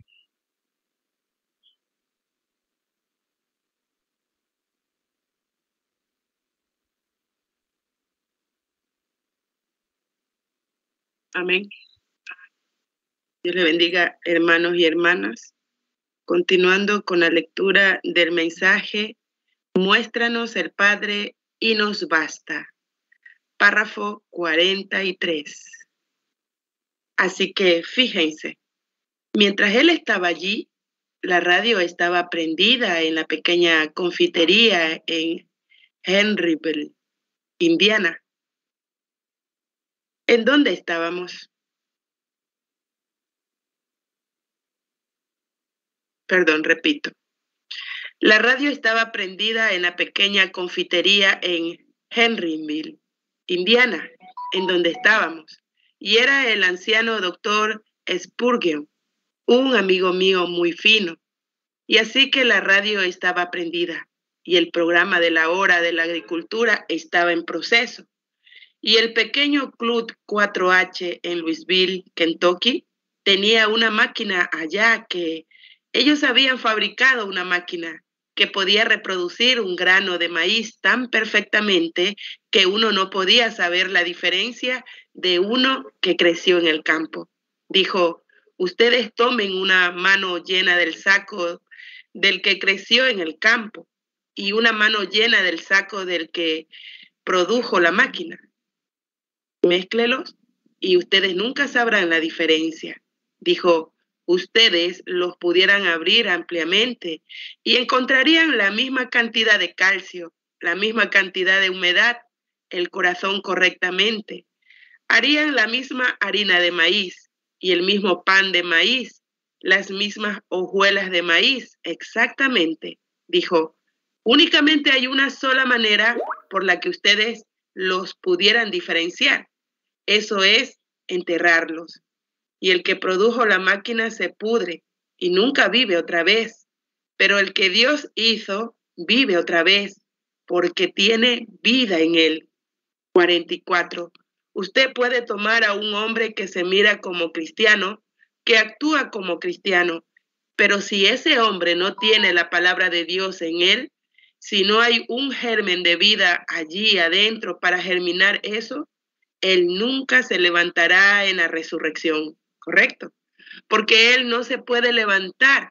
No hay nada allí que lo levante otra vez, una semilla. Ahora, cuando ustedes entierran una semilla, ustedes, granjeros, cuando van allá y plantan su maíz, ustedes no van allá afuera cada mañana y la desentierran y dicen, veamos ahora, ¿está creciendo? ¿Le pasó algo? No. Y la entierran de nuevo. Luego, al siguiente día, ustedes dicen, quiero ver si está creciendo bien. La desentierran otra vez. Nunca crecerá de esa manera. Bueno, la cosa que ustedes hacen con una semilla es encomendarla a la tierra, cubrirla. Eso es todo lo que ustedes pueden hacer al respecto. Depende de Dios hacer el resto de ello. Bueno, de la misma manera es con la palabra de Dios. Si ustedes toman cualquier promesa divina que Dios hizo en su Biblia, la ponen en su corazón y la riegan diariamente con las alabanzas de Dios, que va a llegar a suceder, crecerá. Si ustedes dejan de hacer tonterías con ella, si ustedes solo la dejan en paz, no digan, déjenme ver, ¿puedo mover mi dedo mejor hoy? ¿Me siento mejor? ¿Está mi dolor de cabeza un poquito mejor? Nunca será así. Solo encomiéndelo a Dios y apártese y déjenlo en paz. Esa es la semilla de Dios. crecerá. 45. Hace tiempo yo estaba en Minneapolis, Minnesota, y recibí una reprimenda en una carta esa mañana. Y había habido una tormenta de nieve esa noche y regresé a un hotelito barato y yo siempre procuro de quedarme en un lugar. Yo no creo que los cristianos deberían pedir por lo mejor que hay en la ciudad. Un cristiano debería ser humilde y yo pienso que aun si ustedes fueran capaces de costearlo, yo todavía pienso que ustedes deberían ser un ejemplo. Mi Señor ni siquiera tuvo un lugar donde recostar su cabeza. Las zorras tienen guaridas y las aves tienen nidos, pero Él no tenía un lugar donde reposar su cabeza. Vino al mundo, se le prestó un pesebre para que naciera. Vino a través de una matriz prestada, se fue en un sepulcro prestado. ¡Qué cosa! Y era el Dios del cielo. Y nosotros también deberíamos mostrar algo de humildad. 46. Así que entré y allí estaba una carta de 22 páginas de un cierto decano de un colegio. ¿O qué si él me dio una buena reprimenda? Él decía, señor Branham, él no me llamaba hermano, él dijo, señor Branham, ¿cómo se te ocurre pararte delante de tanta gente como tú te paras y luego con una teología tan podrida? Yo nunca he oído de eso en mi vida. Y dijo, tú te estabas jactando de haber predicado por 31 años. Dijo, jovencito, yo estaba predicando antes que tú nacieras. Y yo pensé, bueno, eso es. Yo ciertamente respeto a un hombre que ha estado predicando tanto tiempo así. Así que entonces yo dije, bueno, eso está bien. Así que él dijo, ¿cómo se te ocurrió decir anoche eso de un siervo de Dios? Dijo, yo manejé 15 millas 24 kilómetros, atravesando una tormenta de nieve cegadora para oír a un siervo de Cristo. ¿Y qué encontré? Sino un adivinador más perfeccionado. Bueno, él dijo, y tú dijiste que el diablo no podía sanar. Dijo, un hombre que enseña a tanta gente como tú enseñas y no conoce lo suficiente de la Biblia como para decir que el diablo no puede sanar. Dijo, yo quiero que sepas que yo vivo aquí en una comunidad en donde hay una mujer pitoniza. Dijo, ellos van a esa mujer, ella trae puesto un delantal grande y los palpa, todo de esta manera. Y ellos echan dinero en ese delantal. Dijo, luego ella se saca algunos cabellos de su cabeza y les pincha sus venas y le pone la sangre al cabello y va a un arroyito que está que está detrás de ella y los arroja en él. La gente se para enfrente de ella. Ella camina de regreso y si es compelida a mirar hacia atrás, bueno, dijo, entonces la enfermedad regresa a la gente. Si ella no es compelida a mirar hacia atrás, entonces la echó en el arroyo a través de su, la sangre de la gente y de su propio cabello. Y dijo, nosotros mantuvimos récord de eso. Dijo, por lo menos 20 o 30% de esa gente es sanada. Y luego tú me quieres decir que no crees que el diablo puede sanar. 47. Bueno, yo, yo pensé, un decano de un colegio? Bueno, pensé, es una carta muy amable. Así que la primera cosa, yo dije, le tengo que contestar. Y si ustedes alguna vez han leído una de mis cartas, yo, yo casi soy el único que las puede leer. Así que entonces yo, yo me senté e hice lo mejor que pude y dije, mi precioso hermano, porque él solo me llamó Braham y yo, yo dije, mi precioso hermano, y yo dije eso en serio. un hombre que había estado predicando por 50 años, él merece algo. Ahora, eso, aún, aunque si él está errado, él merece algo. Yo dije, mi precioso hermano, yo dije, la primera cosa que yo quiero decir es que lo perdono por lo que usted dijo y pido que Dios también lo perdone. Recuerde que los fariseos habían estado predicando mucho más tiempo que lo que usted ha estado. Vieron hacer esas mismas cosas y dijeron que era el poder del diablo, de Belcebú. Y Jesús dijo que cuando fuera hecho por el Espíritu Santo en estos últimos días, el que hable una palabra en contra de ello nunca le será perdonado, ni en este siglo ni en el venidero. Ahora, por ejemplo, ¿qué si yo estoy correcto? Entonces sus 50 años de predicación no significan nada. Usted ha condenado su alma al infierno para siempre. Usted nunca será perdonado por eso. Yo dije, yo sé, hermano, que usted hizo eso por la ignorancia. Mire, yo dije, no permita que eso hiera sus sentimientos. 48. Pero yo dije, luego usted me continuaba descreditando tocante a mi, mi teología, porque dije que el diablo no podía sanar. Yo dije, yo diré lo que Jesús, usted no puede hacer un manojo de las escrituras, usted las debe mantener aclaradas y correctas. Eso es correcto. Yo dije, Jesús dijo que Satanás no puede sanar y usted dice que él sana. Ahora, yo dije, mire, si usted me perdona, yo dije, yo, yo le explicaré a usted tocante a su bruja que usted tiene en su vecindario. Yo dije, sí, por supuesto, esas personas sanaron. ¿Por qué? Yo dije, en África yo los he visto ir a ídolos y ser sanados. En Aldace Lorraine, ellos tienen un monumento allí de una mujer muerta dentro de la iglesia católica. Ellos van allí y miran a esa mujer muerta y dicen un Ave María y sanan, seguro, porque la gente piensa que se están acercando a Dios por medio de eso. Y Dios sana en base de fe. Y en donde sea que llenen los requisitos de fe, Dios tiene que cumplir ese requerimiento, ¿correcto? Yo dije, hay mucha gente en el país hoy en día que ellos mismos se llaman sanadores divinos Dicen, yo tengo poder en mis manos. Gloria, aleluya. Ah, ¿sienten eso? Y la gente americana se lo traga con tanta facilidad como un holgazán se traga los panqueques.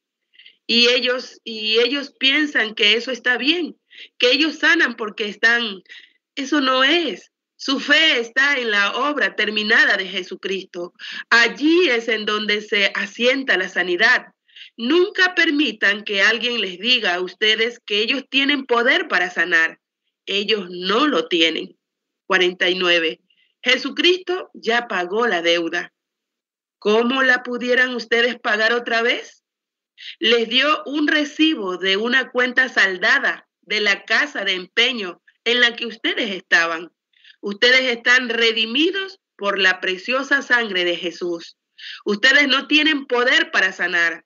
La cosa que ustedes hacen es que tienen, ustedes pudieran tener un don para manifestar a Dios. Ustedes pudieran tener un don para manifestarlo a Él, al ser un gran predicador, como algunos de estos mis hermanos, que se pueden parar aquí y hacer ese trabajo mucho mejor que lo que yo puedo, porque ese es su llamamiento. Mi llamamiento es algo más pero cada uno de nosotros tiene un don para tratar de decirles a ustedes que Cristo los sanó cuando murió por ustedes. Amén. Él, perdón, el herido fue por nuestras rebeliones, por su llaga fuimos nosotros curados. Es algo para que ustedes sepan. Si no pueden creer la palabra, entonces Él envía señales y prodigios para probar que Él es el Cristo resucitado, ¿ven? Por lo tanto, allí es en donde ustedes reciben su sanidad, creyendo en Él. Amén. Dios le bendiga, mis hermanos. Amén, hermana Reina. Dios le bendiga. Continuamos. Muéstranos el Padre y nos basta. Predicado en Yakima, Washington, Estados Unidos, día 31 de julio del año 1960. continuamos, hermana Edith, en los párrafos 50 al 56. Dios le bendiga, hermanos y hermanas. Continuando con el mensaje, muéstranos el Padre y nos basta. Párrafo 50. Ahora, así que entonces yo dije, pero la cosa que me preocupa, Señor, no es eso, sino que el decano de un colegio luterano base su doctrina sobre una sensación o sobre una experiencia, en lugar de basarla sobre la palabra de Dios. Sí, o usted puede tener cualquier clase de sensación, pero tiene que ser la palabra de Dios. Correcto. Yo dije, un decano de un colegio que ha estado predicando por 50 años y basar su doctrina, entre paréntesis, eso lo reprendió bastante duro. Basar su doctrina sobre una, sobre alguna clase de experiencia que tuvo una mujer, en lugar de basarla sobre la palabra de Dios. Dios dijo, Satanás no puede sanar, y eso lo concluye. Cuando él habla, está correcto, eternamente. 51. No mucho después de eso, recibí una invitación para ir a su colegio. El señor Moore fue conmigo porque yo sabía que ese hombre era inteligente y así que eh, después que cenamos allí en ese gran colegio famoso, ellos tenían cientos de acres de maíz en donde los estudiantes podían trabajar como pago para sus estudios. Ese día después que cenamos, él retiró su plato de el decano del colegio y me dijo, dijo, señor Brannan, venimos aquí para hacerle unas preguntas. Yo dije, pueda que no sea capaz de contestarla, señor. Yo dije, yo no soy un teólogo, yo solo soy un hermano que ora por los enfermos. Y él dijo, bueno, él dijo.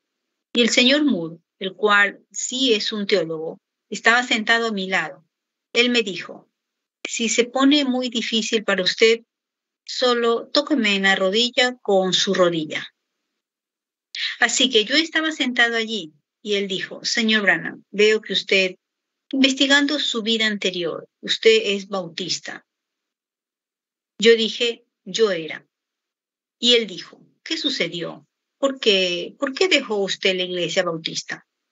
Yo dije, yo nunca la dejé, ella me dejó. ¿Ven? Yo dije, me dejó cuando ella negó el mensaje que yo estaba predicando de la Biblia. Y él dijo, bueno, señor Branham, hay una cosa que me gustaría preguntarle. Él dijo, es esta. Él dijo, mire, si usted hizo eso, me gustaría preguntarle una cosa. ¿Qué lo hizo usted asociarse con los pentecostales? Yo dije, ellos creyeron la palabra. Él dijo, ¿qué tienen ellos? Dijo, yo he estado con ellos y los he visto pateando las mesas, volteando las patas para arriba y voltear las sillas patas para arriba. Y yo dije, ah, seguro, eso es verdad. Quebrar una ventana o algo por el estilo. Yo dije, seguro. Dijo, ¿qué es eso? Yo dije, el Espíritu Santo. Y él dijo, ¿el Espíritu Santo? Yo dije, seguro, si ellos no hacen que la rueda ruede bien, tienen que soplar el silbato en alguna parte. Ellos tienen mucho vapor. Yo dije, y esa es la verdad. Si esta iglesia pentecostal tomara mucho de sus alabanzas y las pusiera a obrar, haría mucho para el reino de Dios. Dios le dio a ustedes el Espíritu Santo. A ustedes les gusta gritar por medio de Él y alabar por medio de Él, pero pongan eso en los dones y prodigios y salgan a la calle y llamen a pecadores para que entren y cosas así. Y la iglesia de ustedes cesará y todo saldrá bien. No lo dejen escapar por el silbato, pónganlo en acción y dejen, hagan que la rueda del tren del Evangelio ruede. 52. Y él dijo, bueno, ¿qué piensa usted que tenemos nosotros los luteranos? ¿Cree usted que nosotros creemos que recibimos el Espíritu Santo cuando creemos? Yo dije, Pablo no estaría de acuerdo con usted en Hechos 19, él dijo, recibisteis el Espíritu Santo desde que creísteis. Él nunca dijo, mire, usted siga eso en el griego, hebreo o lo que usted desee. Es desde que creísteis. Ahora, ellos creen. Nuestra iglesia bautista les enseñó a ustedes, recibían el Espíritu Santo cuando ustedes creían, pero no es correcto. Pablo dijo, recibisteis el Espíritu Santo desde que creísteis. Y esas personas estaban gritando. Bueno, Aquila y Priscila tuvieron grandes reuniones y todo estaba sucediendo. Pero él dijo, ¿recibisteis el Espíritu Santo desde que creísteis? Ellos dijeron, ni siquiera sabemos si hay Espíritu Santo. Cuando Pablo los rebautizó y puso manos sobre ellos y el Espíritu Santo vino sobre ellos, hablaron en lenguas y profetizaron. Entonces ellos tenían el Espíritu Santo. 53. Así que él dijo, ¿qué piensa usted que tenemos nosotros los luteranos? Yo dije, potencialmente yo pienso que usted está correcto. Él dijo, yo dije, permítame darle a usted una pequeña parábola, porque yo no lo sé expresar exactamente. Yo dije, mire, ¿qué es lo que hace usted aquí? Usted va y ara su campo en el tiempo de primavera saca todos los tallos y usted planta su maíz. A la mañana siguiente, usted va y cuando menos piensa, usted dice, hay dos pequeños retoños saliendo del maíz, dos hojitas. Y yo dije, usted mira y ve esas hojitas saliendo. Dice, alabado el Señor, yo tengo una cosecha de maíz. Yo dije, ¿tiene usted una cosecha de maíz? Dijo, bueno, yo no sé de lo que usted está hablando. Yo dije, potencialmente usted tiene una cosecha de maíz. Yo dije, esa fue la primera reforma, la de los luteranos. Y entonces cuando menos se pensó, ese tallo creció, esas hojas crecieron grandes y cuando menos se pensó, pasó a la borla. Eso fue Juan Wesley en la segunda reforma, santificación, la segunda obra definitiva de gracia. Luego, ¿qué hizo eso? Yo dije, la borla miró hacia abajo y vio el tallo y en las hojas y dijo, yo no los necesito a ustedes. Nosotros estamos santificados. Ustedes solo son luteranos. Yo dije, después de un tiempo salió el polen y cayó dentro de la hoja del maíz y produjo y dio una mazorca, un grano de maíz en él. Yo dije, esos fueron pentecostales. Yo dije, luego los pentecostales miraron y dijeron, yo no necesito a ninguno de ustedes. Yo dije, pero después de todo, la misma vida que estaba en las dos hojitas hicieron la borla y también hicieron el grano, correcto. Yo dije, nosotros ven, los pentecostales son una restauración.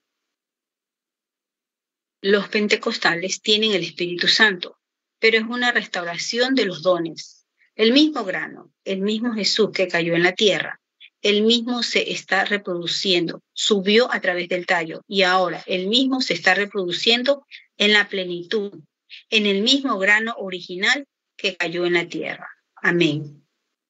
Él dijo, ¿qué nos llamaría usted? Yo dije, la iglesia pentecostal es una iglesia luterana avanzada. Eso es correcto, es exactamente correcto. Es la luterana y nazarena, y santos peregrinos, y todas avanzadas.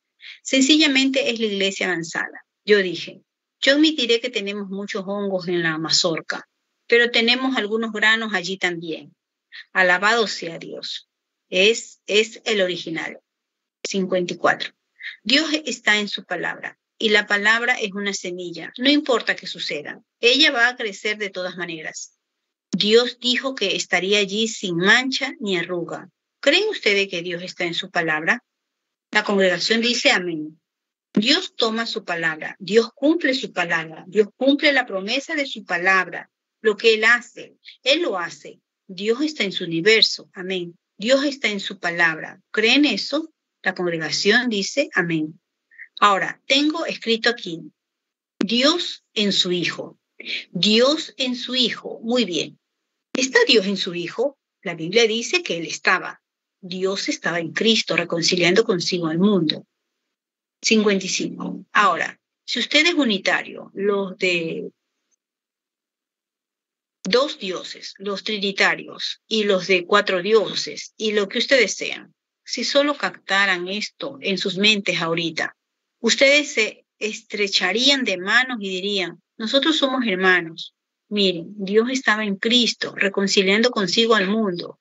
Jesús era el Hijo de Dios, pues Dios le hizo sombra a María y creó dentro del vientre una célula de sangre. Ahora, ustedes han oído a la gente decir, nosotros fuimos salvos por medio de sangre judía. No pudiéramos ser salvos por medio de sangre judía. Es tan pecaminosa como cualquier otra sangre.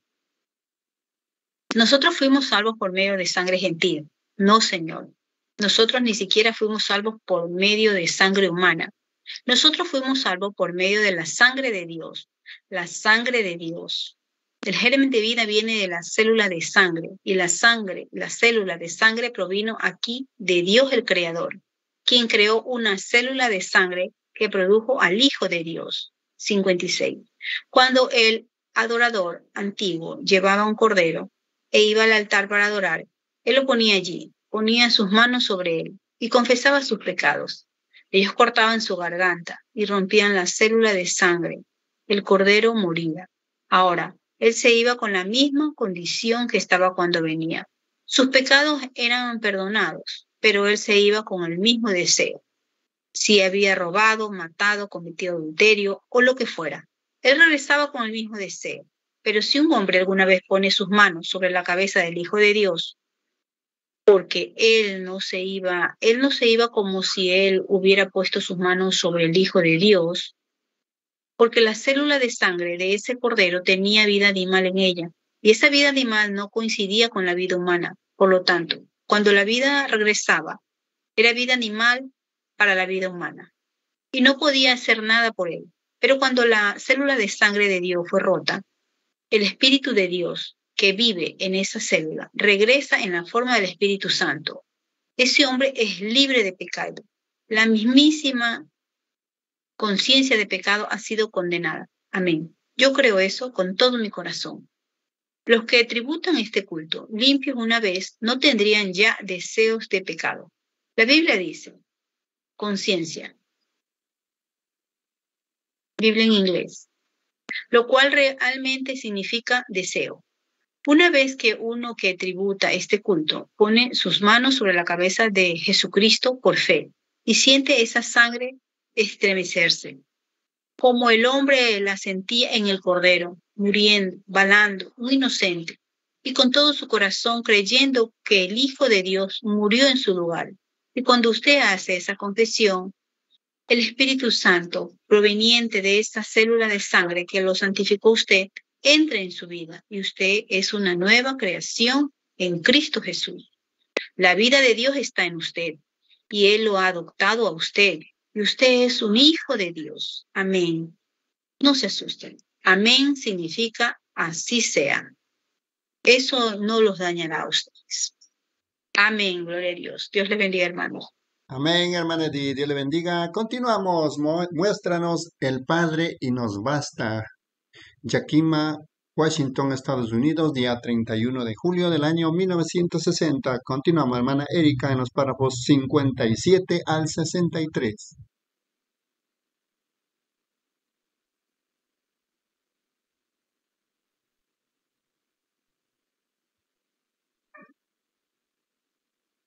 Dios le bendiga, hermanos y hermanas. Vamos a continuar con el mensaje. Muéstranos, muéstranos el Padre y nos basta. Párrafo 57. Fíjense, el Hijo de Dios, el Espíritu de Dios, está en el hombre. Así que Dios estaba en Cristo, reconciliando consigo al mundo. Dios es espíritu. Él no tenía manos hasta que Él llegó a ser Jesús. Él no tenía pies, brazos, piernas y demás. Hasta que Él llegó a ser Jesús.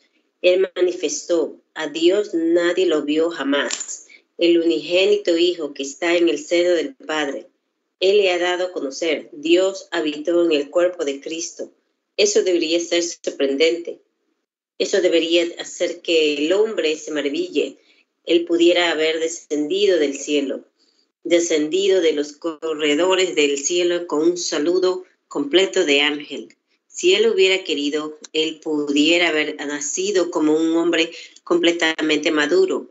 Él pudiera haber descendido con toda la pompa y la gloria del cielo.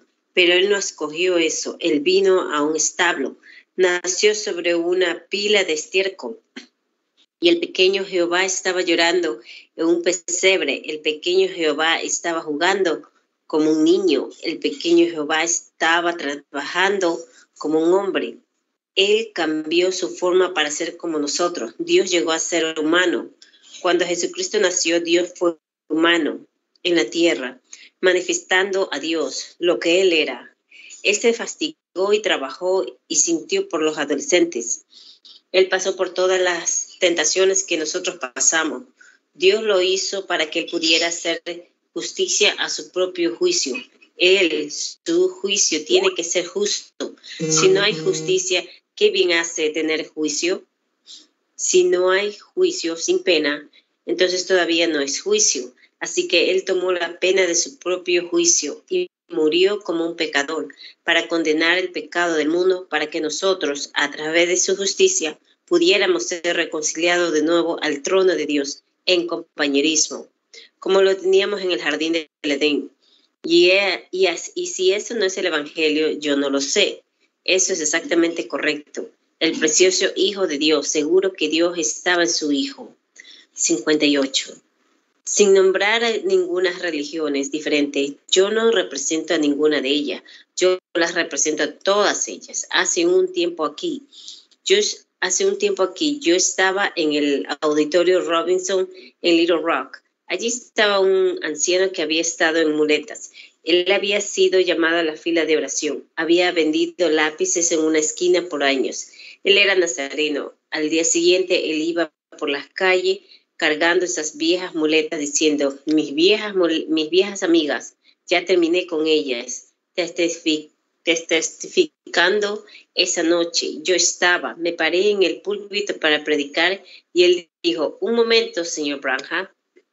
Yo dije, sí, señor. Él estaba en el balcón y él dijo, ¿sabe qué? Cuando yo lo oí a usted predicar, estaba seguro que usted era un nazareno.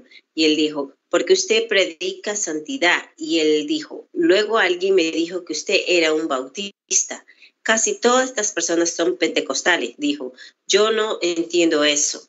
Yo dije, oh hermano, eso es fácil. Yo dije, yo soy pentecostal, nazareno, bautista. Eso, eso es. Somos representantes de Jesucristo. Esa es la cosa, no de su denominación sino de su Dios. 59. Ahora hubo una mujer que pertenecía a una iglesia de la ciencia cristiana, una señora muy fina, y ella dijo, por supuesto, ellos no creen en la que Jesús es divino. Ella dijo, señor Branham, yo disfruto su enseñanza, dijo, pero la única cosa que hace mi sangre tiritar es cuando usted trata de hacer un, a Jesús divino. Dijo, usted se jacta demasiado de él. Yo dije, yo no me puedo jactar lo suficiente de él. Ella dijo, bueno, usted siempre se está jactando tocando a él, se jacta tocante a él. Yo dije, él es yo. Si yo tuviera diez mil lenguas, yo no me pudiera jactar lo suficiente tocante a él. Yo dije, de lo que él ha hecho por mí. Ella dijo, pero usted lo hace a él divino. Yo dije, él sí era divino. Si él no era divino, todo el mundo está perdido. Eso es exactamente correcto. Ella dijo, si yo, usted dice que es fundamentalista, que usted solo se queda con la Biblia. Yo dije, eso es correcto. Ella dijo, si yo le pruebo a usted por la Biblia que él no era divino, ¿lo aceptará usted? Yo dije, si la Biblia dice que él no lo era, lo aceptaría. Ella dijo, pero la Biblia no lo dice. Ella dijo, oh, sí, sí, lo dice. Yo dije, ¿en dónde está? Ella dijo, muy bien, en la primera en Juan, el capítulo 11, cuando Jesús iba rumbo a la tumba de Lázaro. La Biblia dice que él lloró, dijo señor Branja. Él no podía llorar y ser divino. Bueno, yo dije, señora, su argumento es más, de, más débil que un consumé hecho de la sombra de una gallina que se murió de hambre. Yo dije, bueno, usted, bueno, eso no es tener una escritura. Yo dije, mire esto, él era ambos, Dios y hombre. Yo dije, él era un, hombre cuando lloró en el sepulcro de Lázaro, pero cuando él enderezó sus pequeños hombros y dijo, Lázaro, ven fuera, y un hombre que había estado muerto cuatro días se paró sobre su pie. Y vivió otra vez. Eso requirió más que un hombre, se requirió divinidad para hacer eso. Dios estaba en Cristo. 60. Él era un hombre hambriento bajando la colina esa noche, buscando, mejor dicho, esa mañana, buscando comida en esa higuera y no lo encontró. Él era un hombre cuando estaba hambriento, pero cuando él tomó cinco panes y dos peces y alimentó a cinco mil, ese era más que un hombre, ese era Dios viviendo en un hombre, seguro que lo era. Él era un hombre cuando estaba cansado, acostado en esa pequeña barca allá aquella noche. Virtud había salido de él debido a las visiones y cosas durante el día, y el diablo juró esa noche, probablemente diez mil de ellos del mar, que lo ahogarían a él. Y allí estaba él en esa pequeña barca ya, llevada de un lugar a otro como un corche de botellas en una tormenta, en un mar poderoso. Allí estaba él flotando de esa manera, y él acostado en la parte trasera de la barca, y las olas ni siquiera los despertaron. Estaba durmiendo, así que él estaba cansado y agotado. Él era un hombre cuando estaba dormido, pero una vez que despertó, aleluya, oh, puso su pie sobre la cargadera de la barca y dijo, callá, enmudecé, y las olas se fueron a sus ensenadas, como un bebé a sus... Los vientos y las olas lo obedecieron. Se, requiere, se requirió más que un hombre para hacer eso. Se requirió a Dios para eso. Se requirió inspiración para eso, se requirió el poder de la divinidad para hacer eso. Dios estaba en su Hijo. ¿Creen ustedes eso? La congregación dice amén. 61.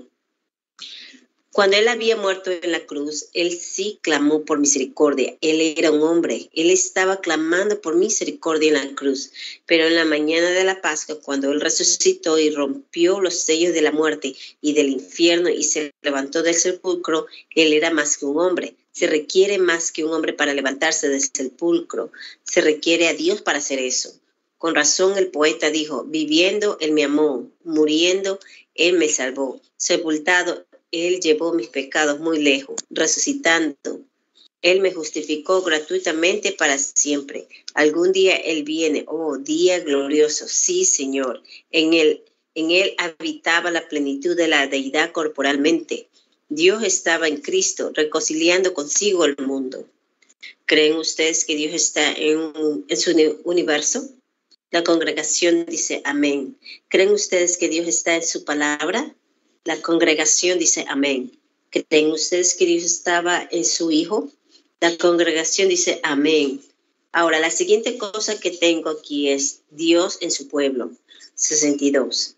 Ahora, veremos si lo podemos mostrar a Él en su pueblo. Dios es un espíritu. Él siempre ha usado al hombre para él mismo manifestarse en la tierra. Él lo hizo en su hijo, él estaba, Dios estaba en David. ¿Sabían ustedes eso? Dios estaba en su pueblo. David, cuando él fue el rey rechazado, subió arriba del monte, miró hacia atrás y estaba llorando como un rey rechazado. 500 años después, el hijo de David estaba en el mismo monte como un rey rechazado y lloró sobre Jerusalén. ¿Es correcto eso? José tenía Cristo en él cuando nació como un hermano espiritual. Sus otros hermanos lo aborrecían. Observen a la iglesia hoy en día. Los otros hermanos lo aborrecían sin causa. Él fue amado por su padre y aborrecido por sus hermanos. Ahora ellos lo aborrecían sin causa. Él no lo podía evitar, pues había nacido para ver visiones e interpretar sueños. Pero ellos lo aborrecían. Ellos no lo hacen hoy en día. La misma cosa. Perdón. Ellos lo hacen hoy en día. Las mismas cosas. 63. El diablo se lleva a su hombre, pero nunca su espíritu. Dios se lleva a su hombre, pero nunca su espíritu. El espíritu que estaba sobre Elías vino sobre Eliseo y de Eliseo a Juan el Bautista. Y fue profetizado que vendría otra vez en los últimos días. ¿Ven? Dios sacó el espíritu de su hijo y se lo envió de nuevo a la iglesia. Dios se lleva a su hombre, pero nunca su espíritu. El diablo se lleva a su hombre, pero nunca su espíritu. Esos dos espíritus han combatido uno contra el otro en carne humana desde el principio del tiempo. Eso es correcto. Y ellos combatirán, combatirán hasta el fin. Si ustedes tan solo estudian las escrituras y observan de la manera que obra ustedes, no estarán perdidos si ustedes lo aceptan a Él como su Salvador y como su guía para que los guíe por las escrituras. bajo mientras vamos navegando en la majestuosa altar mal de la vida en su barca pequeña, permitan que él entre allí con ustedes y pelotee su barco. Dios le bendiga, hermanos.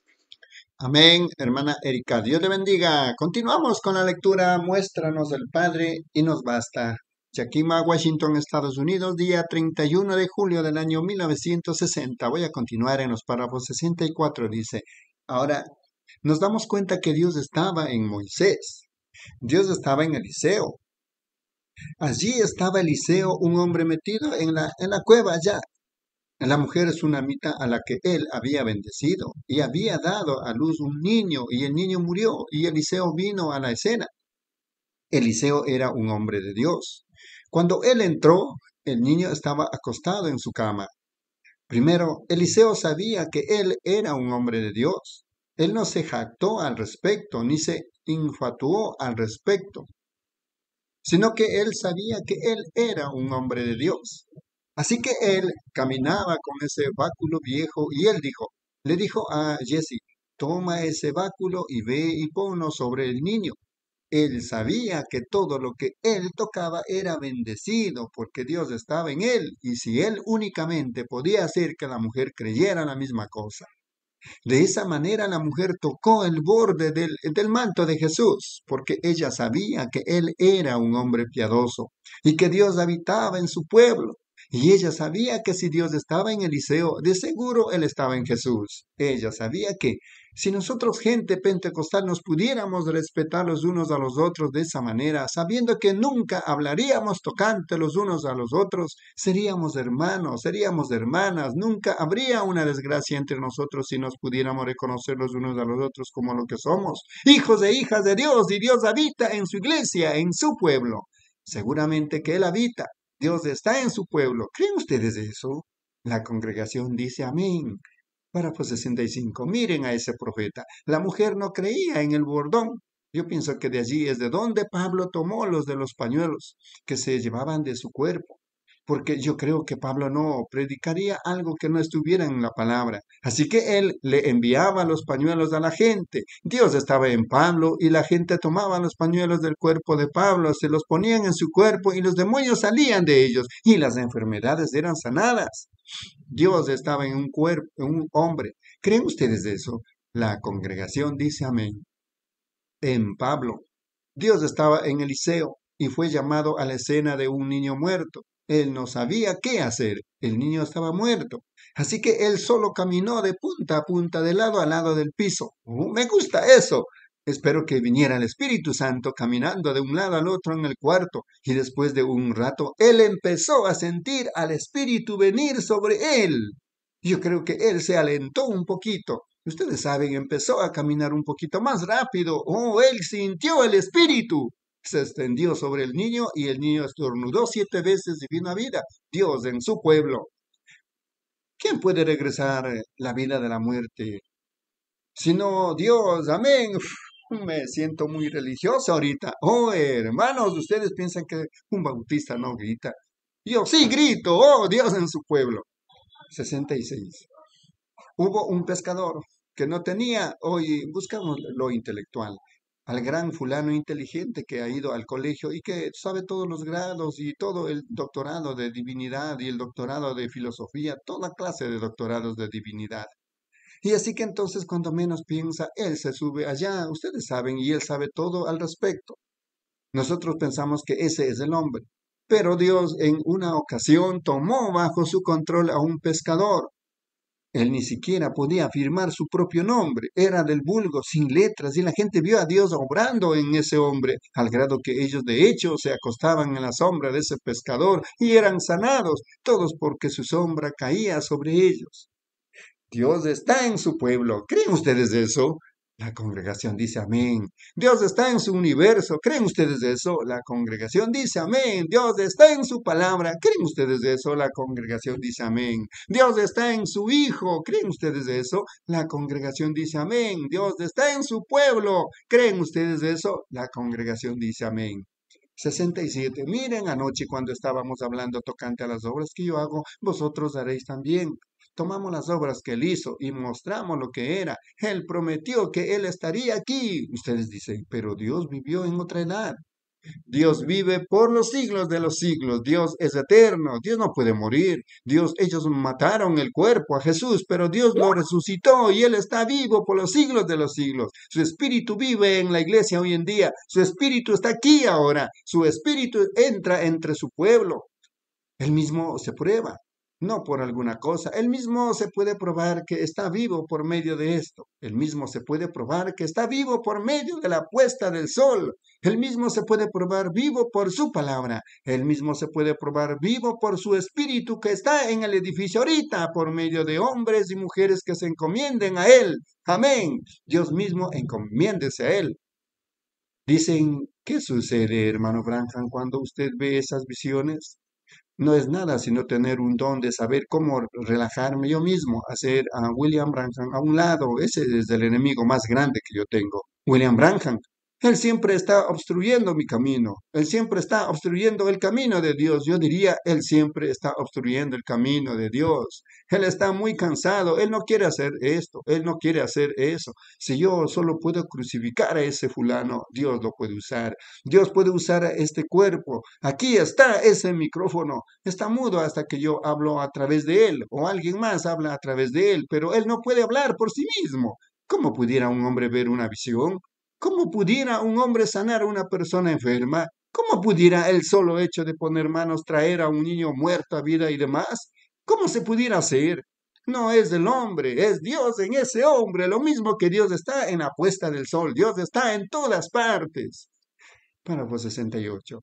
Queremos nacer de su espíritu y reconocerlo y estar pendientes de él. Él está muy cerca de ustedes. Él no únicamente está cerca de ustedes. Usted es gente nacida de nuevo, sino Él ya está en ustedes, tratando de que su voluntad y el diablo parado allí diciendo, no lo crean, no lo crean, no lo crean. Esto, eso, no es, eso es para ustedes, es para otro día. O digan, apártate de mí, Satanás. Escrito está, las obras que yo hago, vosotros las haréis también. Así como Jesús derrotó a Satanás. Él nunca usó su poder. Él era muy, él era Dios manifestado en carne, pero él no usó su poder. Todos los dones que había en el cielo, él los tenía dentro de él, pero él no usó eso. Él sencillamente tomó la palabra del Padre. Él dijo, escrito está, al Señor tu Dios adorarás. Escrito está, escrito está, escrito está, escrito está. Y él derrotó a Satanás y la palabra de Dios derrotará a Satanás en donde quiera, en cualquier terreno, bajo cualquier condición. La palabra santa de Dios. 69. Dios vive en su universo, Dios vive en su palabra, Dios vive en su Hijo, Dios vive en su pueblo. Él es Dios en donde quiera. Si ustedes solo le permiten a Él entrar ahora, ustedes verán a Dios vivir otra vez esta tarde entre nosotros. Inclinemos nuestros rostros porque la palabra de Dios es más cortante que toda espada de dos filos, y penetra hasta partir el alma y los tuétanos, y discierne los pensamientos y las intenciones del corazón. La palabra de Dios entra en un ser humano y discierne los pensamientos. Jesús percibió sus pensamientos, y eso es correcto. Digan amén, la congregación dice amén. ¿Qué era él? En el principio era la palabra, y la palabra era con Dios, y la palabra era Dios y la palabra fue hecha carne y él dijo, ustedes me condenan porque yo digo que soy el Hijo de Dios y está escrito en vuestras leyes que sois dioses. Párrafo 70 por último. El hombre fue hecho para ser un Dios. Su dominio es la tierra. Toda la tierra está esperando ahora por la manifestación de los hijos de Dios que sean manifestados. Miren cuán atrasados estamos. Pero recuerden los profetas, él dijo, si ustedes los llaman dioses a quienes venían la palabra de Dios, ¿qué era un profeta? Un intérprete divino de la palabra tenía la interpretación divina, las señales de él prediciendo y sabiendo de antemano, eso era para el pueblo una vindicación de que él era un profeta. Por eso es que el judío dice, Veámoslo a él tomar esa Biblia. Ella dice que Jesús era el Cristo y murió y resucitó las cosas que yo hice. Ustedes lo harán también. Veámoslo a él hacer la señal del profeta. Nosotros creemos que ese es el Espíritu, que ese fue el Mesías y que él está obrando en su hombre otra vez. Es su profeta. Ven, él obrando en eso. ¿Cómo se puede hacer eso sino únicamente por Dios? Dios es el único que puede hacer eso. ¿Quieren ser recordados en oración? Levanten sus manos, digan, Dios, ten misericordia de mí. Yo ahora quiero creer con todo mi corazón en el Señor Jesús. Yo sé que soy una criatura que está, que está destinada para eternidad. Hubo un tiempo en el que usted no era nada, en ninguna parte, pero nunca habrá un tiempo en el que usted no será algo en alguna parte. Si usted es un pecador, haga su decisión esta tarde. Cristo está aquí ah, para ayudarlo, para salvarlo. Ahora, yo no soy mucho para persuadir a la gente al altar. Yo pienso que si la palabra de Dios no lo hace, Jesús hizo esta declaración, que no lo, no, no lo lastime. Todo lo que el Padre me ha dado vendrá a mí, pero ninguno puede venir si mi Padre primero no le trajere. Nosotros solo arrojamos la red. Amén, mis amados hermanos y hermanas. Continuamos con la lectura de este glorioso mensaje titulado Muéstranos el Padre y nos basta, servicio realizado en Yakima, Washington, Estados Unidos, día 31 de julio del año 1960. Hermana Reina, en los párrafos 71 al 77. Amén. Dios le bendiga, mis hermanos. Continuando con la lectura del mensaje, muéstranos al Padre y nos basta. Párrafo 71. ¿Es usted un pecador y le gustaría levantar su mano? Yo no lo estoy llamando al altar, solo diga, hermano Branham, yo soy un pecador. Yo levantaré mi mano a Dios.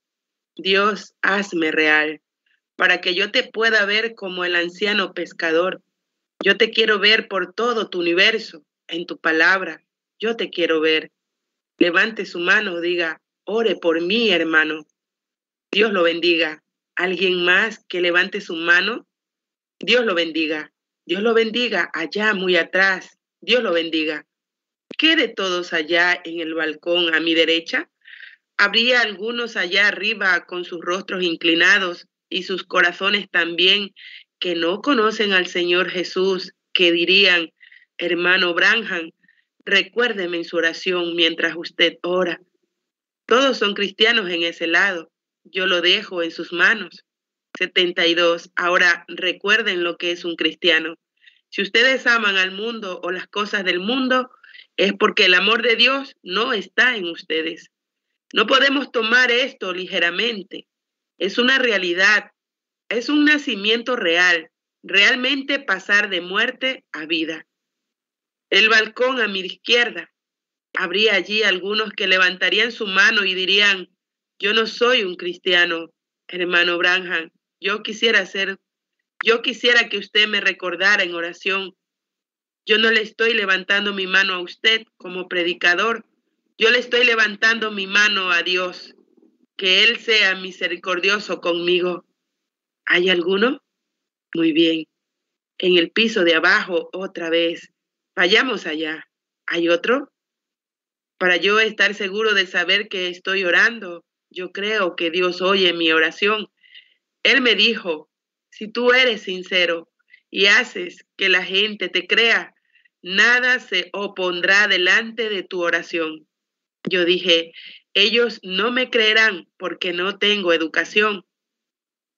Él dijo, como a Moisés le fueron dadas dos señales para vindicar que él fue enviado allá para liberar, así también se te han dado a ti dos señales. Levante su mano, diga, me gustaría ser recordado en oración, hermano Branham.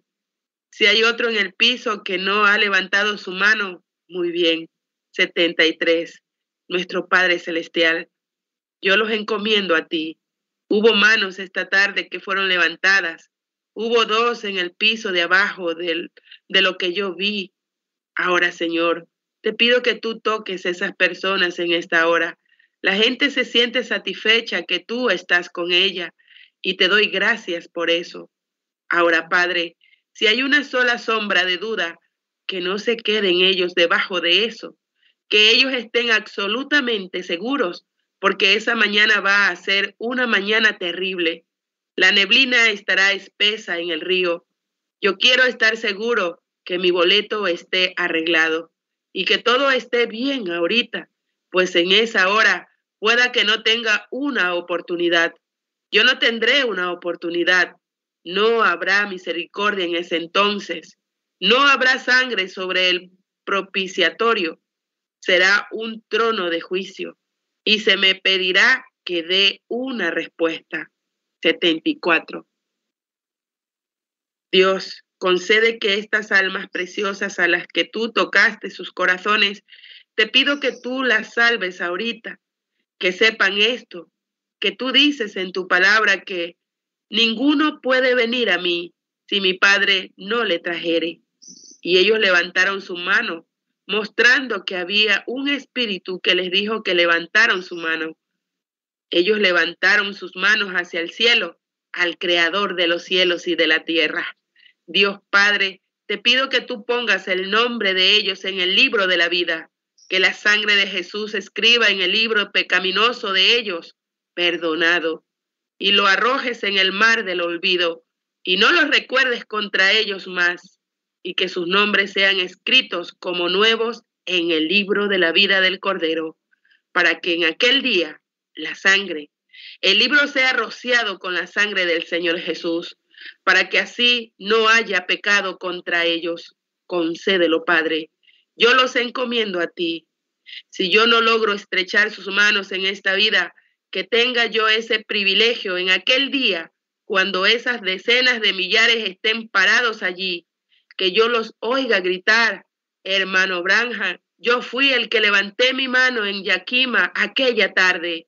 Estarán tan felices la visión que tú mostraste la otra noche de cuán felices estaban ellos, los que habían pasado de esta vida a la otra.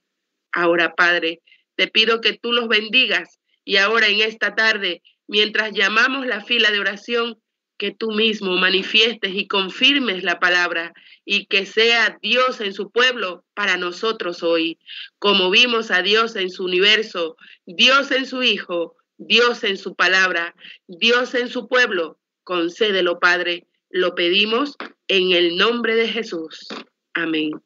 76.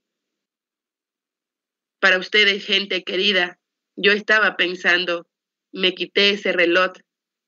Ya son tres relojes seguidos. Yo tomo la mano de alguien y, y en eso, debido a eso, el reloj se para, falla. El, yo no me pregunten por qué. El joyero de aquí, de la ciudad, lo acaba de arreglar. Él está tratando y el eje se salió, la esfera se cayó, las manecillas. Es un Vulcan Cricket de 300 dólares que me dieron en Suiza, con alarma en él, ¿ven? Y yo tenía uno nuevo aquí en California que me dieron. Yo puse mi mano sobre una persona de esa manera para orar por... ¿Alguno ha visto alguna vez eso? ¿O estuvo presente cuando eso sucedió? Levante su mano. Si usted estuvo presente cuando eso sucedió y ese reloj se paró, se desbarató, yo nunca lo he podido usar hasta este día. Tres relojes seguidos. Me lo quité para estar seguro. 77. Ahora vamos a ¿Cuáles estábamos llamando anoche? Llamamos las tarjetas de oración A. A. ¿Repartiste? Hay un total de 100 dispersas. Llamamos de la 1 a la 50, yo creo, anoche.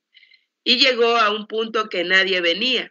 Ahora miren, yo sé que es alarmante. Sí, Señor, es tremendo. Si ustedes vienen aquí con pecados sin confesar, es mejor que no lo enmienden antes. Es mejor que lo enmienden antes que ustedes vengan, ¿ven? Porque de seguro Él lo dirá. Pero esta tarde yo voy a tomar algunas de esas tarjetas de oración y orar por ellas. Y luego solo orar por la gente que tiene tarjetas de oración. Amén. Dios le bendiga, mis hermanos.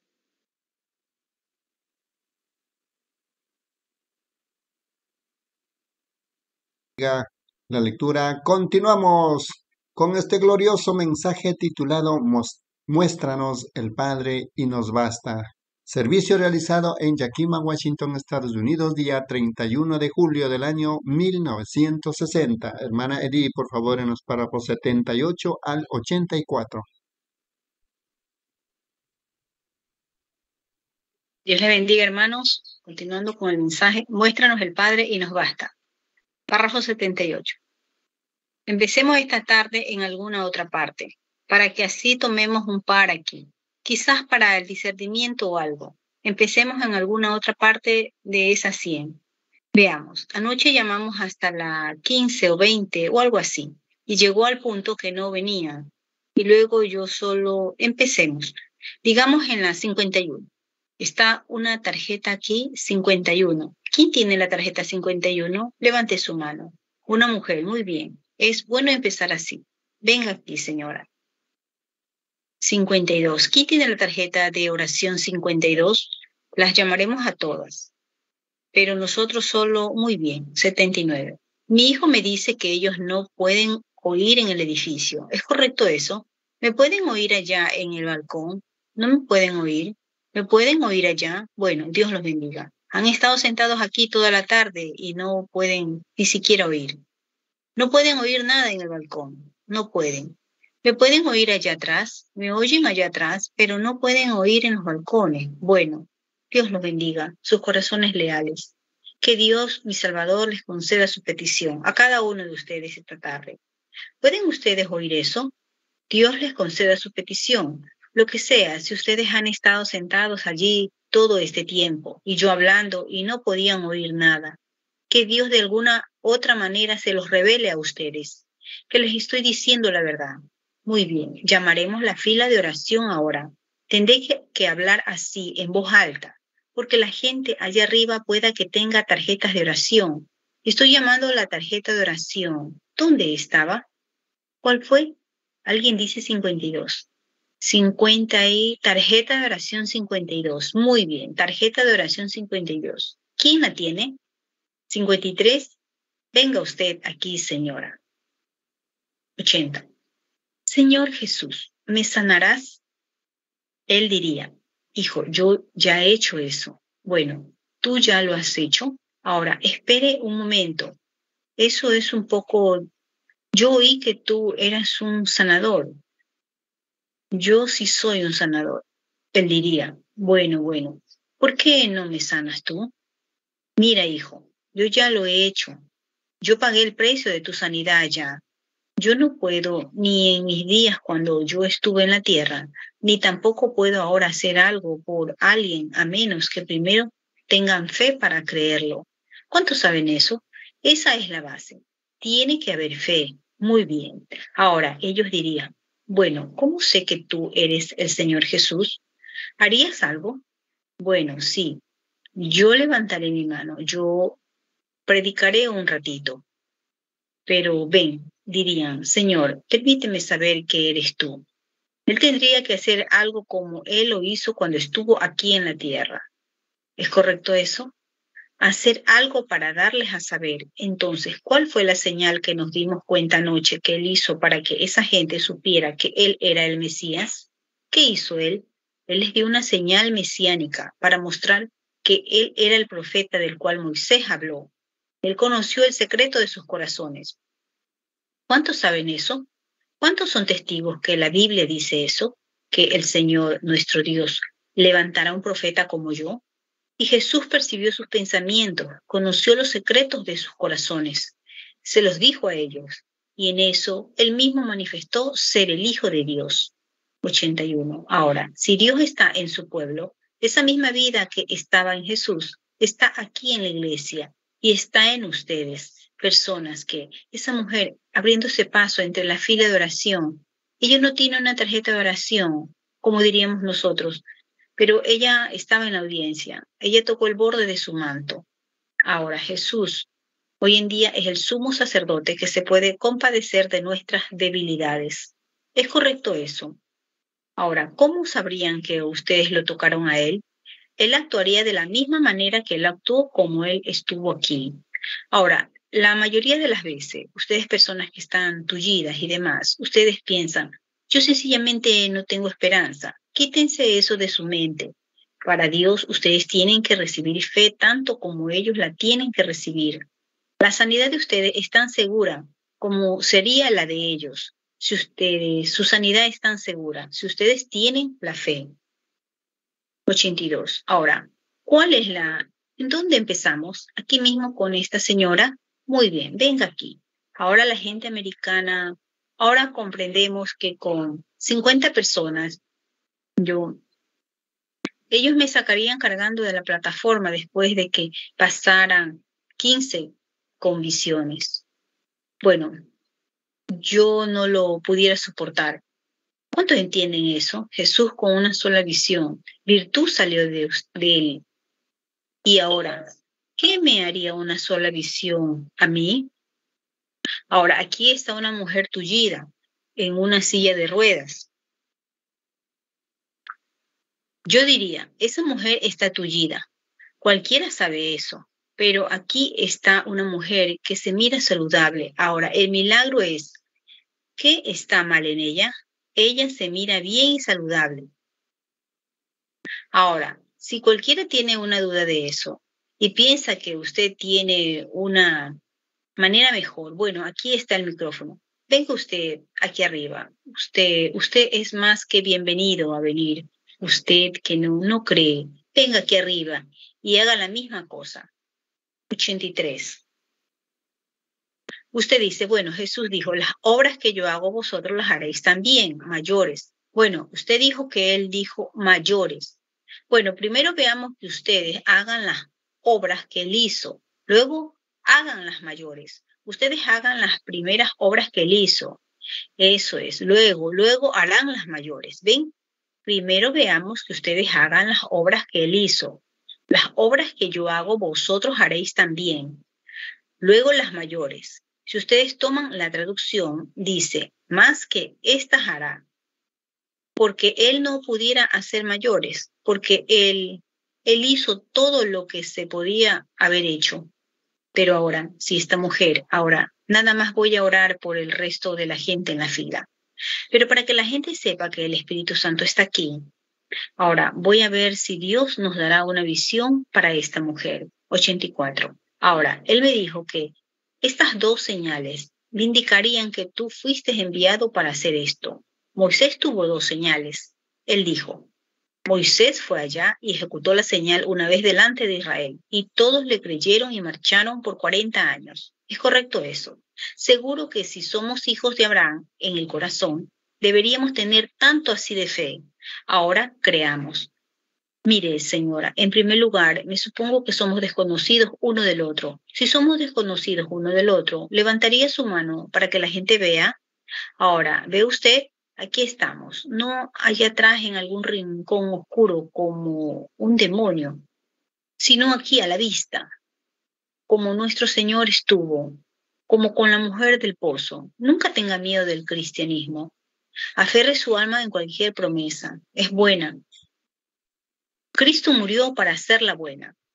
Ahora, yo no diría eso de ninguna manera si yo no sintiera su presencia aquí como el águila sentía sus alas. ¿Ve?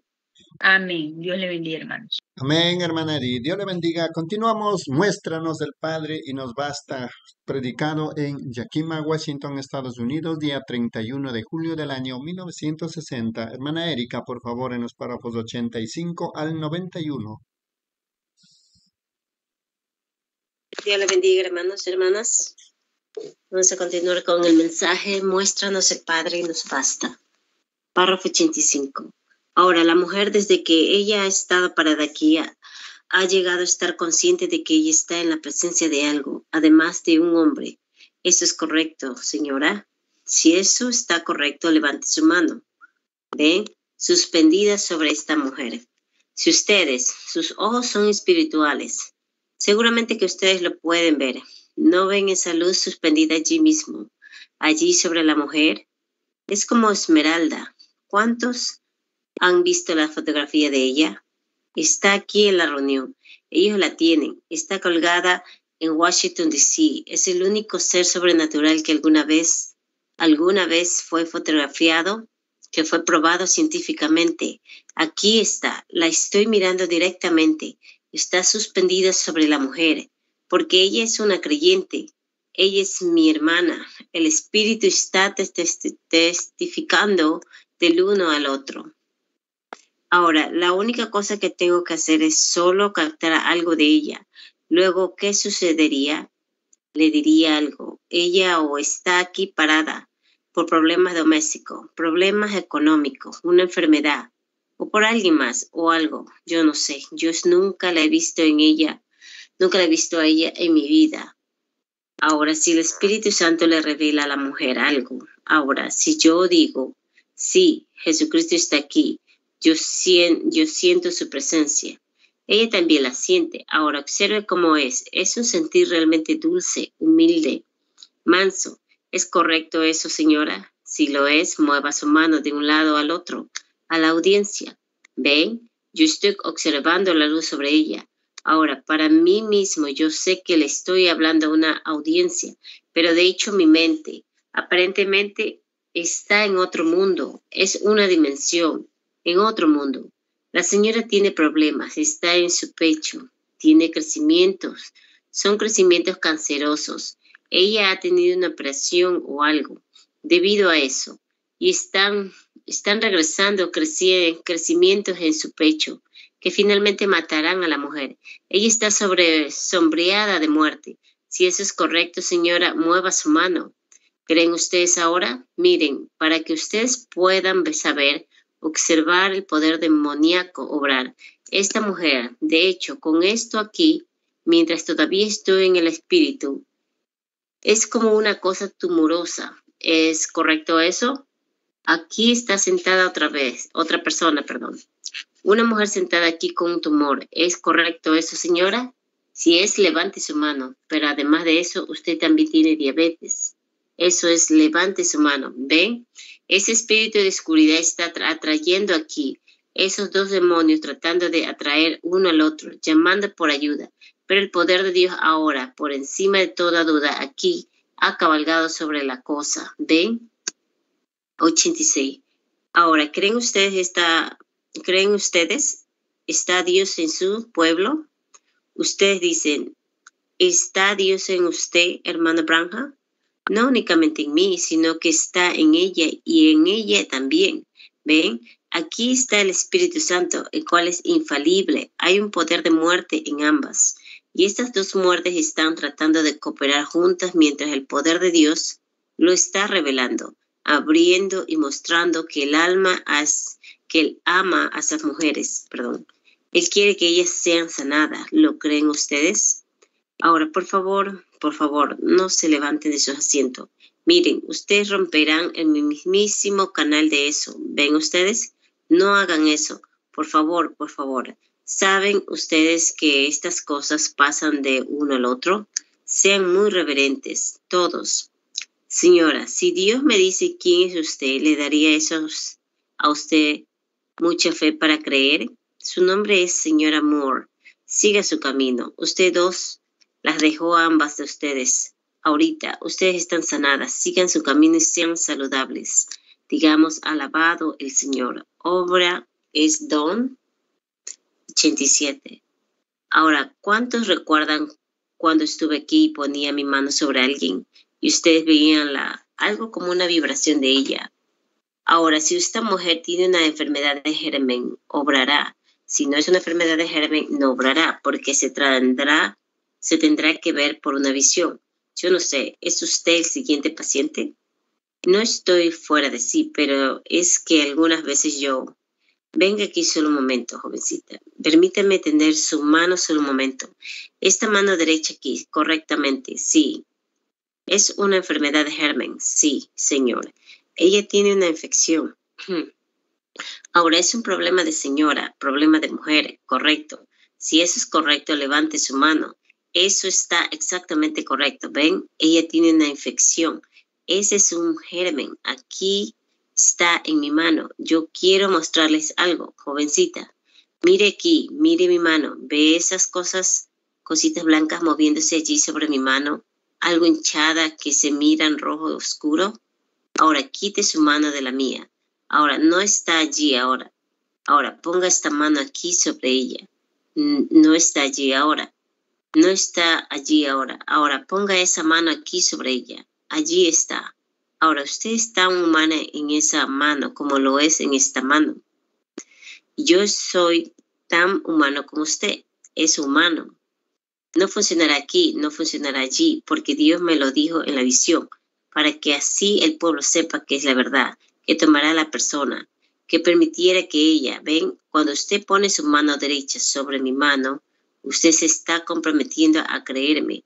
Él dijo, si tú haces que la gente te crea y eres sincero, nada se opondrá delante de la oración. ¿Ha leído usted el libro?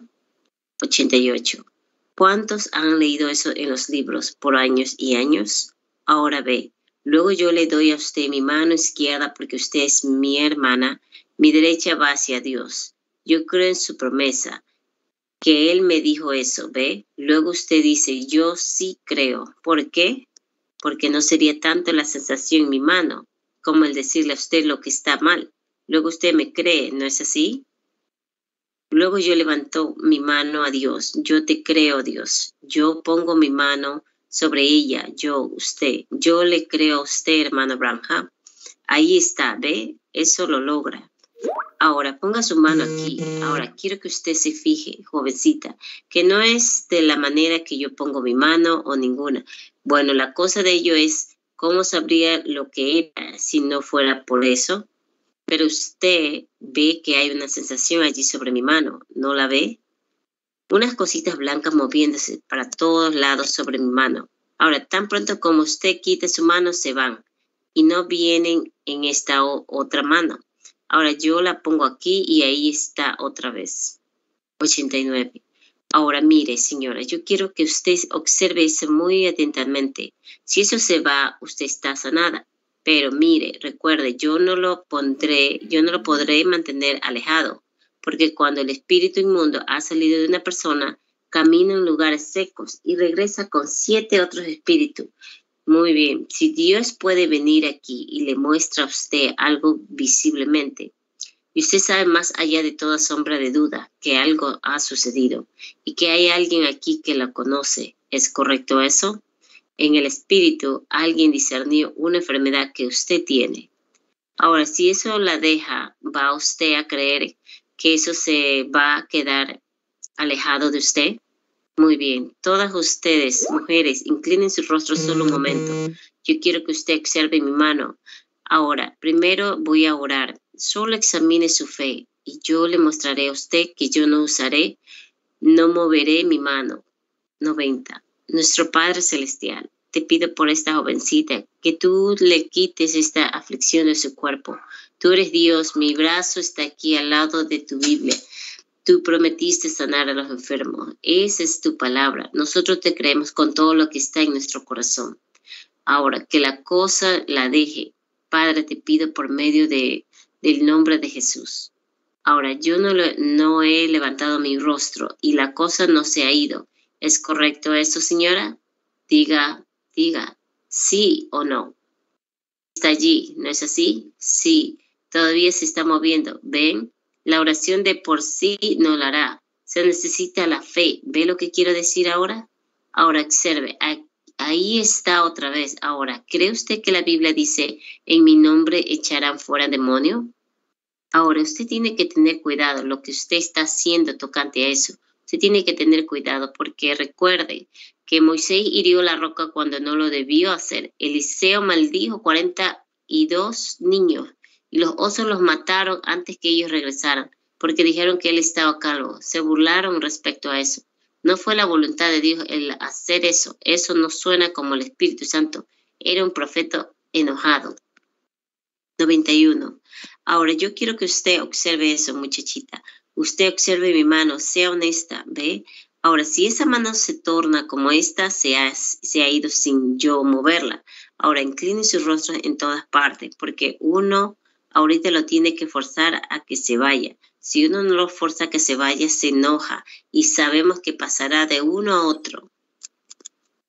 Dios le bendiga, hermanos. Amén, hermana Erika. Dios le bendiga. Continuamos y para concluir con este glorioso mensaje, muéstranos del Padre y nos basta, predicado en Yakima, Washington, Estados Unidos, día 31 de julio del año 1960. Continúan los párrafos 92, dice, Satanás, un ángel de Dios vino hace 14 años en Mill una noche y me dijo, siendo un ministro local, que yo había sido enviado para orar por los enfermos. Y esto es lo que me dijo, tú estás consciente de eso, tú estás expuesto, tú puedes poner incredulidad en el pueblo. Tú puedes hacer que la gente dude, pero no puedes hacer nada con Cristo porque Él te ha quitado todo derecho legal que alguna vez tuviste. Cuando Él murió en el Calvario, Él pagó la deuda de todo nuestro pecado de incredulidad. Dios les ha dado a sus siervos poder para echarte de fuera. Yo uso su nombre. Yo vengo en el nombre de Jesucristo. Yo te desafío en este duelo de fe. Deja a la muchacha. Sal de ella en el nombre de Jesucristo. Ahora, antes que yo levantara mi rostro, abriera mis ojos la cosa que había oído. ¿Es correcto eso? Ahora, abra sus ojos. Algo sucedió, ¿no es así? Usted aún se siente diferente, ¿no es así? Ahora, mira aquí. Ahí está. Ahora espere, yo quitaré mi mano de la suya. Ahora ponga esta mano sobre ella como la hizo hace un rato. ¿Ve cómo se mira? Ahora ponga esta mano sobre ella como lo hizo hace un rato. ¿Ve cómo se mira? Algo sucedió, ¿no es así? Usted está sanada. Eso es lo que es. Siga adelante su camino regocijándose, diciendo gracias. 93. Ahora veamos la mano de este hombre, solo un momento. Él tiene un poco de problema de la próstata que lo hace nervioso, que se levante o algo. El hombre dice, sí, pero eso es correcto. Usted se levanta durante la noche, pero eso no es realmente lo que usted quiere, porque yo siento su espíritu moviéndose a algo más. Muy bien, ¿piensa usted que va a estar tullido? ¿Piensa usted que esta artritis lo tullará o algo? ¿Cree usted que Dios lo va a sanar ahora? El hombre dice, yo sé que Dios lo va a hacer. Amén. Él ya lo ha hecho. Bájese caminando y regocíjese y grite diciendo, alabado sea el Señor. Veamos a usted, Señor. Venga aquí un momento. Permítame tener su mano. Sí, Señor, problema del estómago. ¿Cree usted que Dios sanará eso? En el nombre de Jesucristo, que el diablo deje a este muchacho. Sal de él en el nombre de Jesús. Amén. Váyase creyendo. 94. Muy bien, venga por el bebé. Ahora veamos, manita, solo un momento. ¿Cómo estás, muchachito? Hola, amigo. Sí, señor, no, no es, no es infección. Un momento. Ahora, ¿cree usted que si Dios me puede decir que está mal en el bebé, que Dios lo sanará? ¿Aceptará a Jesús como el sanador de ese bebé? Ese problema del corazón es un corazón muy enfermo. Los doctores no saben aún qué hacer tocante a ello. Correcto, pero Dios sí sabe qué hacer tocante a ello. Satanás, deja al niño en el nombre de Jesús. Yo condeno al diablo y pido por su sanidad. Amén. Lléveselo ahora, crea con todo su corazón y él sanará. 95. Venga, ¿cómo estás, cariño? ¿Crees a Jesús? Veamos la manito de él. Bueno, sí, cree que el problema del riñón se irá de él y mejorará y sanará. Cree con todo su corazón que Cristo lo sanará a él. Señor Jesús, yo condeno al diablo que ha dañado a este niño. Que lo deje en el nombre de Jesucristo. Amén. Tenga fe, crea ahora, no dude, váyase creyendo y si usted lo cree con todo su corazón, sucederá. Ahora, veamos su mano. Es una condición asmática, pero ¿cree usted que Dios puede sanar esa y hacerle saludable? ¿Lo aceptará Él como su sanador? Yo condeno al diablo que ha dañado a nuestra hermana. En el nombre de Jesucristo, deja a la mujer. Váyase creyendo ahora. No dude, sino crea con todo su corazón. 96. ¿Cuántos de allá que no tienen tarjeta de oración creerán? ¿Cuántos de ustedes de hecho dirán, yo creo? Tengan fe, no duden. ¿Cree usted que la artritis lo dejará el hombre sentado allá mirándome, allá atrás, el hombre algo anciano? Si usted cree con todo su corazón, Dios lo sanará. Ahí está sentado un hombre con una hernia. ¿Cree usted que Dios lo sanará, Señor, sentado ahí con una hernia orando? Usted que está algo calvo ahí enfrente con una corbata de cuerda. Sí, Señor. Póngase de pie acepte su sanidad entonces. ¿Tiene usted una tarjeta de oración? No, Señor. Su esposa tiene una bueno, si su esposa tiene una, usted no tiene una entonces, usted se puede ir a casa con ella y ser sanado si ella es sanada en la fila. Amén. Si ustedes creen con todo su corazón, Yo los desafío a creer que es la verdad. ¿Lo creen ustedes, todos ustedes? La congregación dice amén. Entonces tengan fe en Dios. 97. Algo sucedió en alguna parte. No era esta persona. ¿Cree usted que Dios lo sanará? La mujer dice, seguro que lo creo. Señor, en el nombre de Jesús, sana a la mujer. Amén. Ahora váyase creyendo con todo su corazón. Si usted puede creer esto y no lo duda, sucederá. Venga, hermana, mire, usted sabe que yo solo que está mal con usted. Pero si yo, si yo no lo digo, ¿lo creerá usted de todas maneras? ¿No lo creerá usted? La señora dice, sí, yo lo creeré. Sí, señora, pero yo solo le diré a usted que su nerviosismo se ha ido de usted. Usted se puede ir a casa y ser sanada. Así que no dude. Cuando usted estaba sentada allí, el problema del corazón la dejó así que solo siga adelante caminando. Diga, alabado sea Jesús. Ven. Ahora, si yo no le digo a usted una sola cosa, ¿lo aceptará usted y creerá que todo está bien? Muy bien, el problema de su espalda se ha terminado. Solo váyase a casa y sea sano y tenga, tenga fe en Dios. Crea con todo, todo su corazón. Señor Jesús, te pido que tú sanes a la mujer en el nombre de Jesús. 98. Venga ahora creyendo con todo su corazón en el nombre de Jesús que nuestro hermano sea sanado. Ahora ven, ellos están sanando de igual manera. ¿Lo creen ustedes? La creación dice amén. Venga, hermana, en el nombre de Jesucristo, que nuestra hermana sea sanada. Tenga fe, no dude. Veamos que el pobre hermano está tullido. ¿Cree usted que Dios lo sanará, Señor? En el nombre de Jesucristo, que nuestro hermano sea sanado. No dude, váyase creyendo ahora y usted sanará. Venga, Señor, en el nombre de Jesucristo, yo pongo mis manos sobre usted, hermano, y la Biblia dice, estas señales seguirán a los creyentes en el nombre de Jesús, sea sanado. 99. ¿Cree usted, hermana, en el nombre de Jesucristo, que ellos sean sanados? Amén. No estoy buscando visiones porque me estoy debilitando tanto ahora que siento mis piernas temblando debajo de mí. En el nombre de Jesucristo, que ellos sean sanados. ¿Ustedes lo creen ahora? ¿No lo creen? Van a creer en el nombre de Jesucristo, que ellos sean sanados. Amén. Venga, damita, va usted a creer en el nombre de Jesucristo que la hermana sea sanada. En el nombre de Jesucristo que nuestra hermana sea sanada. Venga, hermano, va usted a creer esto ahora, lo va a creer en el nombre de Jesucristo que nuestro hermano sea sanado. Venga, hermana, por supuesto, usted sabe lo que en el nombre de Jesucristo que nuestra hermana sea sanada. En el nombre de Jesucristo que nuestra hermana sea sanada. En el nombre de Jesucristo que nuestra hermana sea sanada. En el nombre de Jesucristo, que nuestra hermana sea sanada. En el nombre de Jesucristo, que nuestro hermano sea sanado. Dios lo bendiga, hermano. En el nombre de Jesucristo, que usted sea sanado. Venga, hermana. En el nombre de Jesucristo, que ella sea sanada. En el nombre de Jesucristo, que ella sea sanada. Venga, hermano. Crea ahora y, yo lo dejaré a usted. En el nombre de Jesucristo, que mi hermano sea sanado. En el nombre de Jesucristo, que mi hermano sea sanado. Venga, hermano, en el nombre de Jesucristo, que mi hermano sea sanado. Para vos ¿están ustedes dudando? ¿Están, están, ¿Están ustedes dudando con todo su corazón o están ustedes creyendo con todo su corazón? ¿Creen ustedes? La congregación dice amén. Ahora, yo nunca usé el discernimiento. Yo sabía lo que estaba mal en la gente. Ustedes están conscientes de eso, ¿verdad? Miren, ¿es esta? Yo todavía tengo al paciente en mi mano. Mire aquí, Señor, yo solo dije, Dios lo bendiga. Eso es todo lo que dije. Siga caminando. El hermano dice, amén. ¿Es correcto eso? ¿Cree que usted está sanado de todas maneras? El hombre dice, amén. Muy bien. Usted tenía cáncer. El hombre dice, correcto. Y eso estaba en el hueso de la pelvis. El hermano dice, correcto. Su nombre es el señor Peterson el nombre dice, correcto, usted váyase a casa y sea sanado. Ven, ven, eso es, solo créalo. Sentado allí con escena, escena. ¿Cree usted que Dios lo sanará, lo hará saludable? ¿Tiene usted una tarjeta de oración? No tiene usted. ¿Cree usted que Dios lo sanará?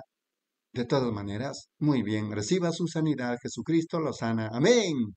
Párrafo 101. ¿Creen ustedes con todo su corazón, cada uno de ustedes? ¿Cuántos creen que Dios está en su universo? La congregación dice amén. Dios está en su palabra. La congregación dice amén. Dios está en su Hijo. La congregación dice amén.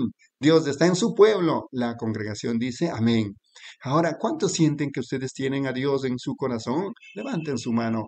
Muy bien, ahora pongan sus manos sobre unos sobre los otros y sigan orando unos por los otros mientras me bajo y oro por estas personas en las sillas de ruedas. Hermano Roy, diríjanlos en oración mientras usted pongan sus manos unos sobre los otros, solo pongan sus manos unos sobre los otros, crean con todo su corazón. Señor Jesús, ven ahora. Tú estás aquí con el pueblo, Dios está en su pueblo, que ellos sean sanados, cada uno de ellos, mientras estamos orando. Mantengan sus manos sobre los otros, unos sobre los otros. Sigan orando, Dios está en su pueblo. Crean eso mientras yo oro por estos. Amén. Amén, mis amados hermanos y hermanas. Hemos pasado un minutito, pero hemos terminado con este glorioso mensaje. Muéstranos el Padre y nos basta. Predicado en Yakima, Washington, Estados Unidos, día 31 de julio del año 1960. Que quede plasmado y guardado en cada uno de vuestros corazones. Vamos a concluir con el compañerismo, agradeciendo a Dios y a todos ustedes, sin antes de anunciar para el día de mañana, si Dios nos permite, continuaremos con este compañerismo en la lectura de este mensaje titulado Jehová Jireh, parte 2, o número 2. También en Yakima, Washington, Estados Unidos, día 2 de uh, agosto del año 1960. Oramos. Gracias, amantísimo Padre Celestial, Dios Todopoderoso.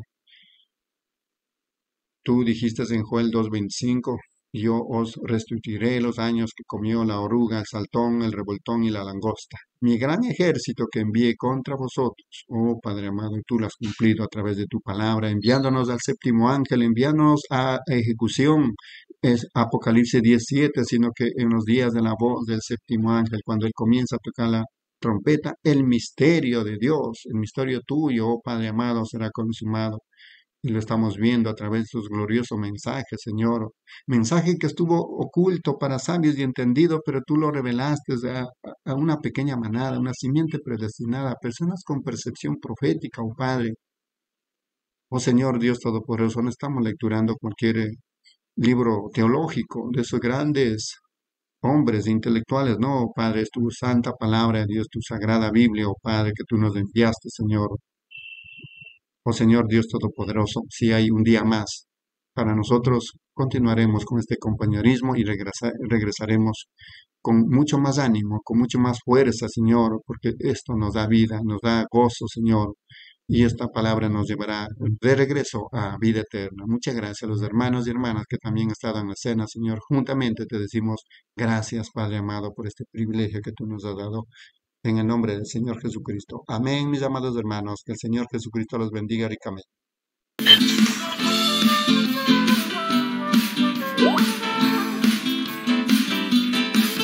Amén. Dios le bendiga, mis hermanos. Shalom a todos. Dios le bendiga, hermanos. Amén.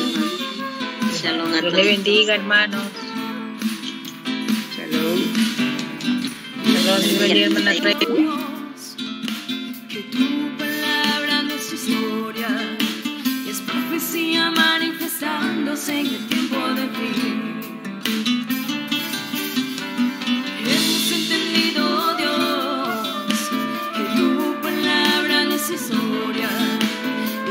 es profecía manifestándose en el tiempo de fin. Intercesión,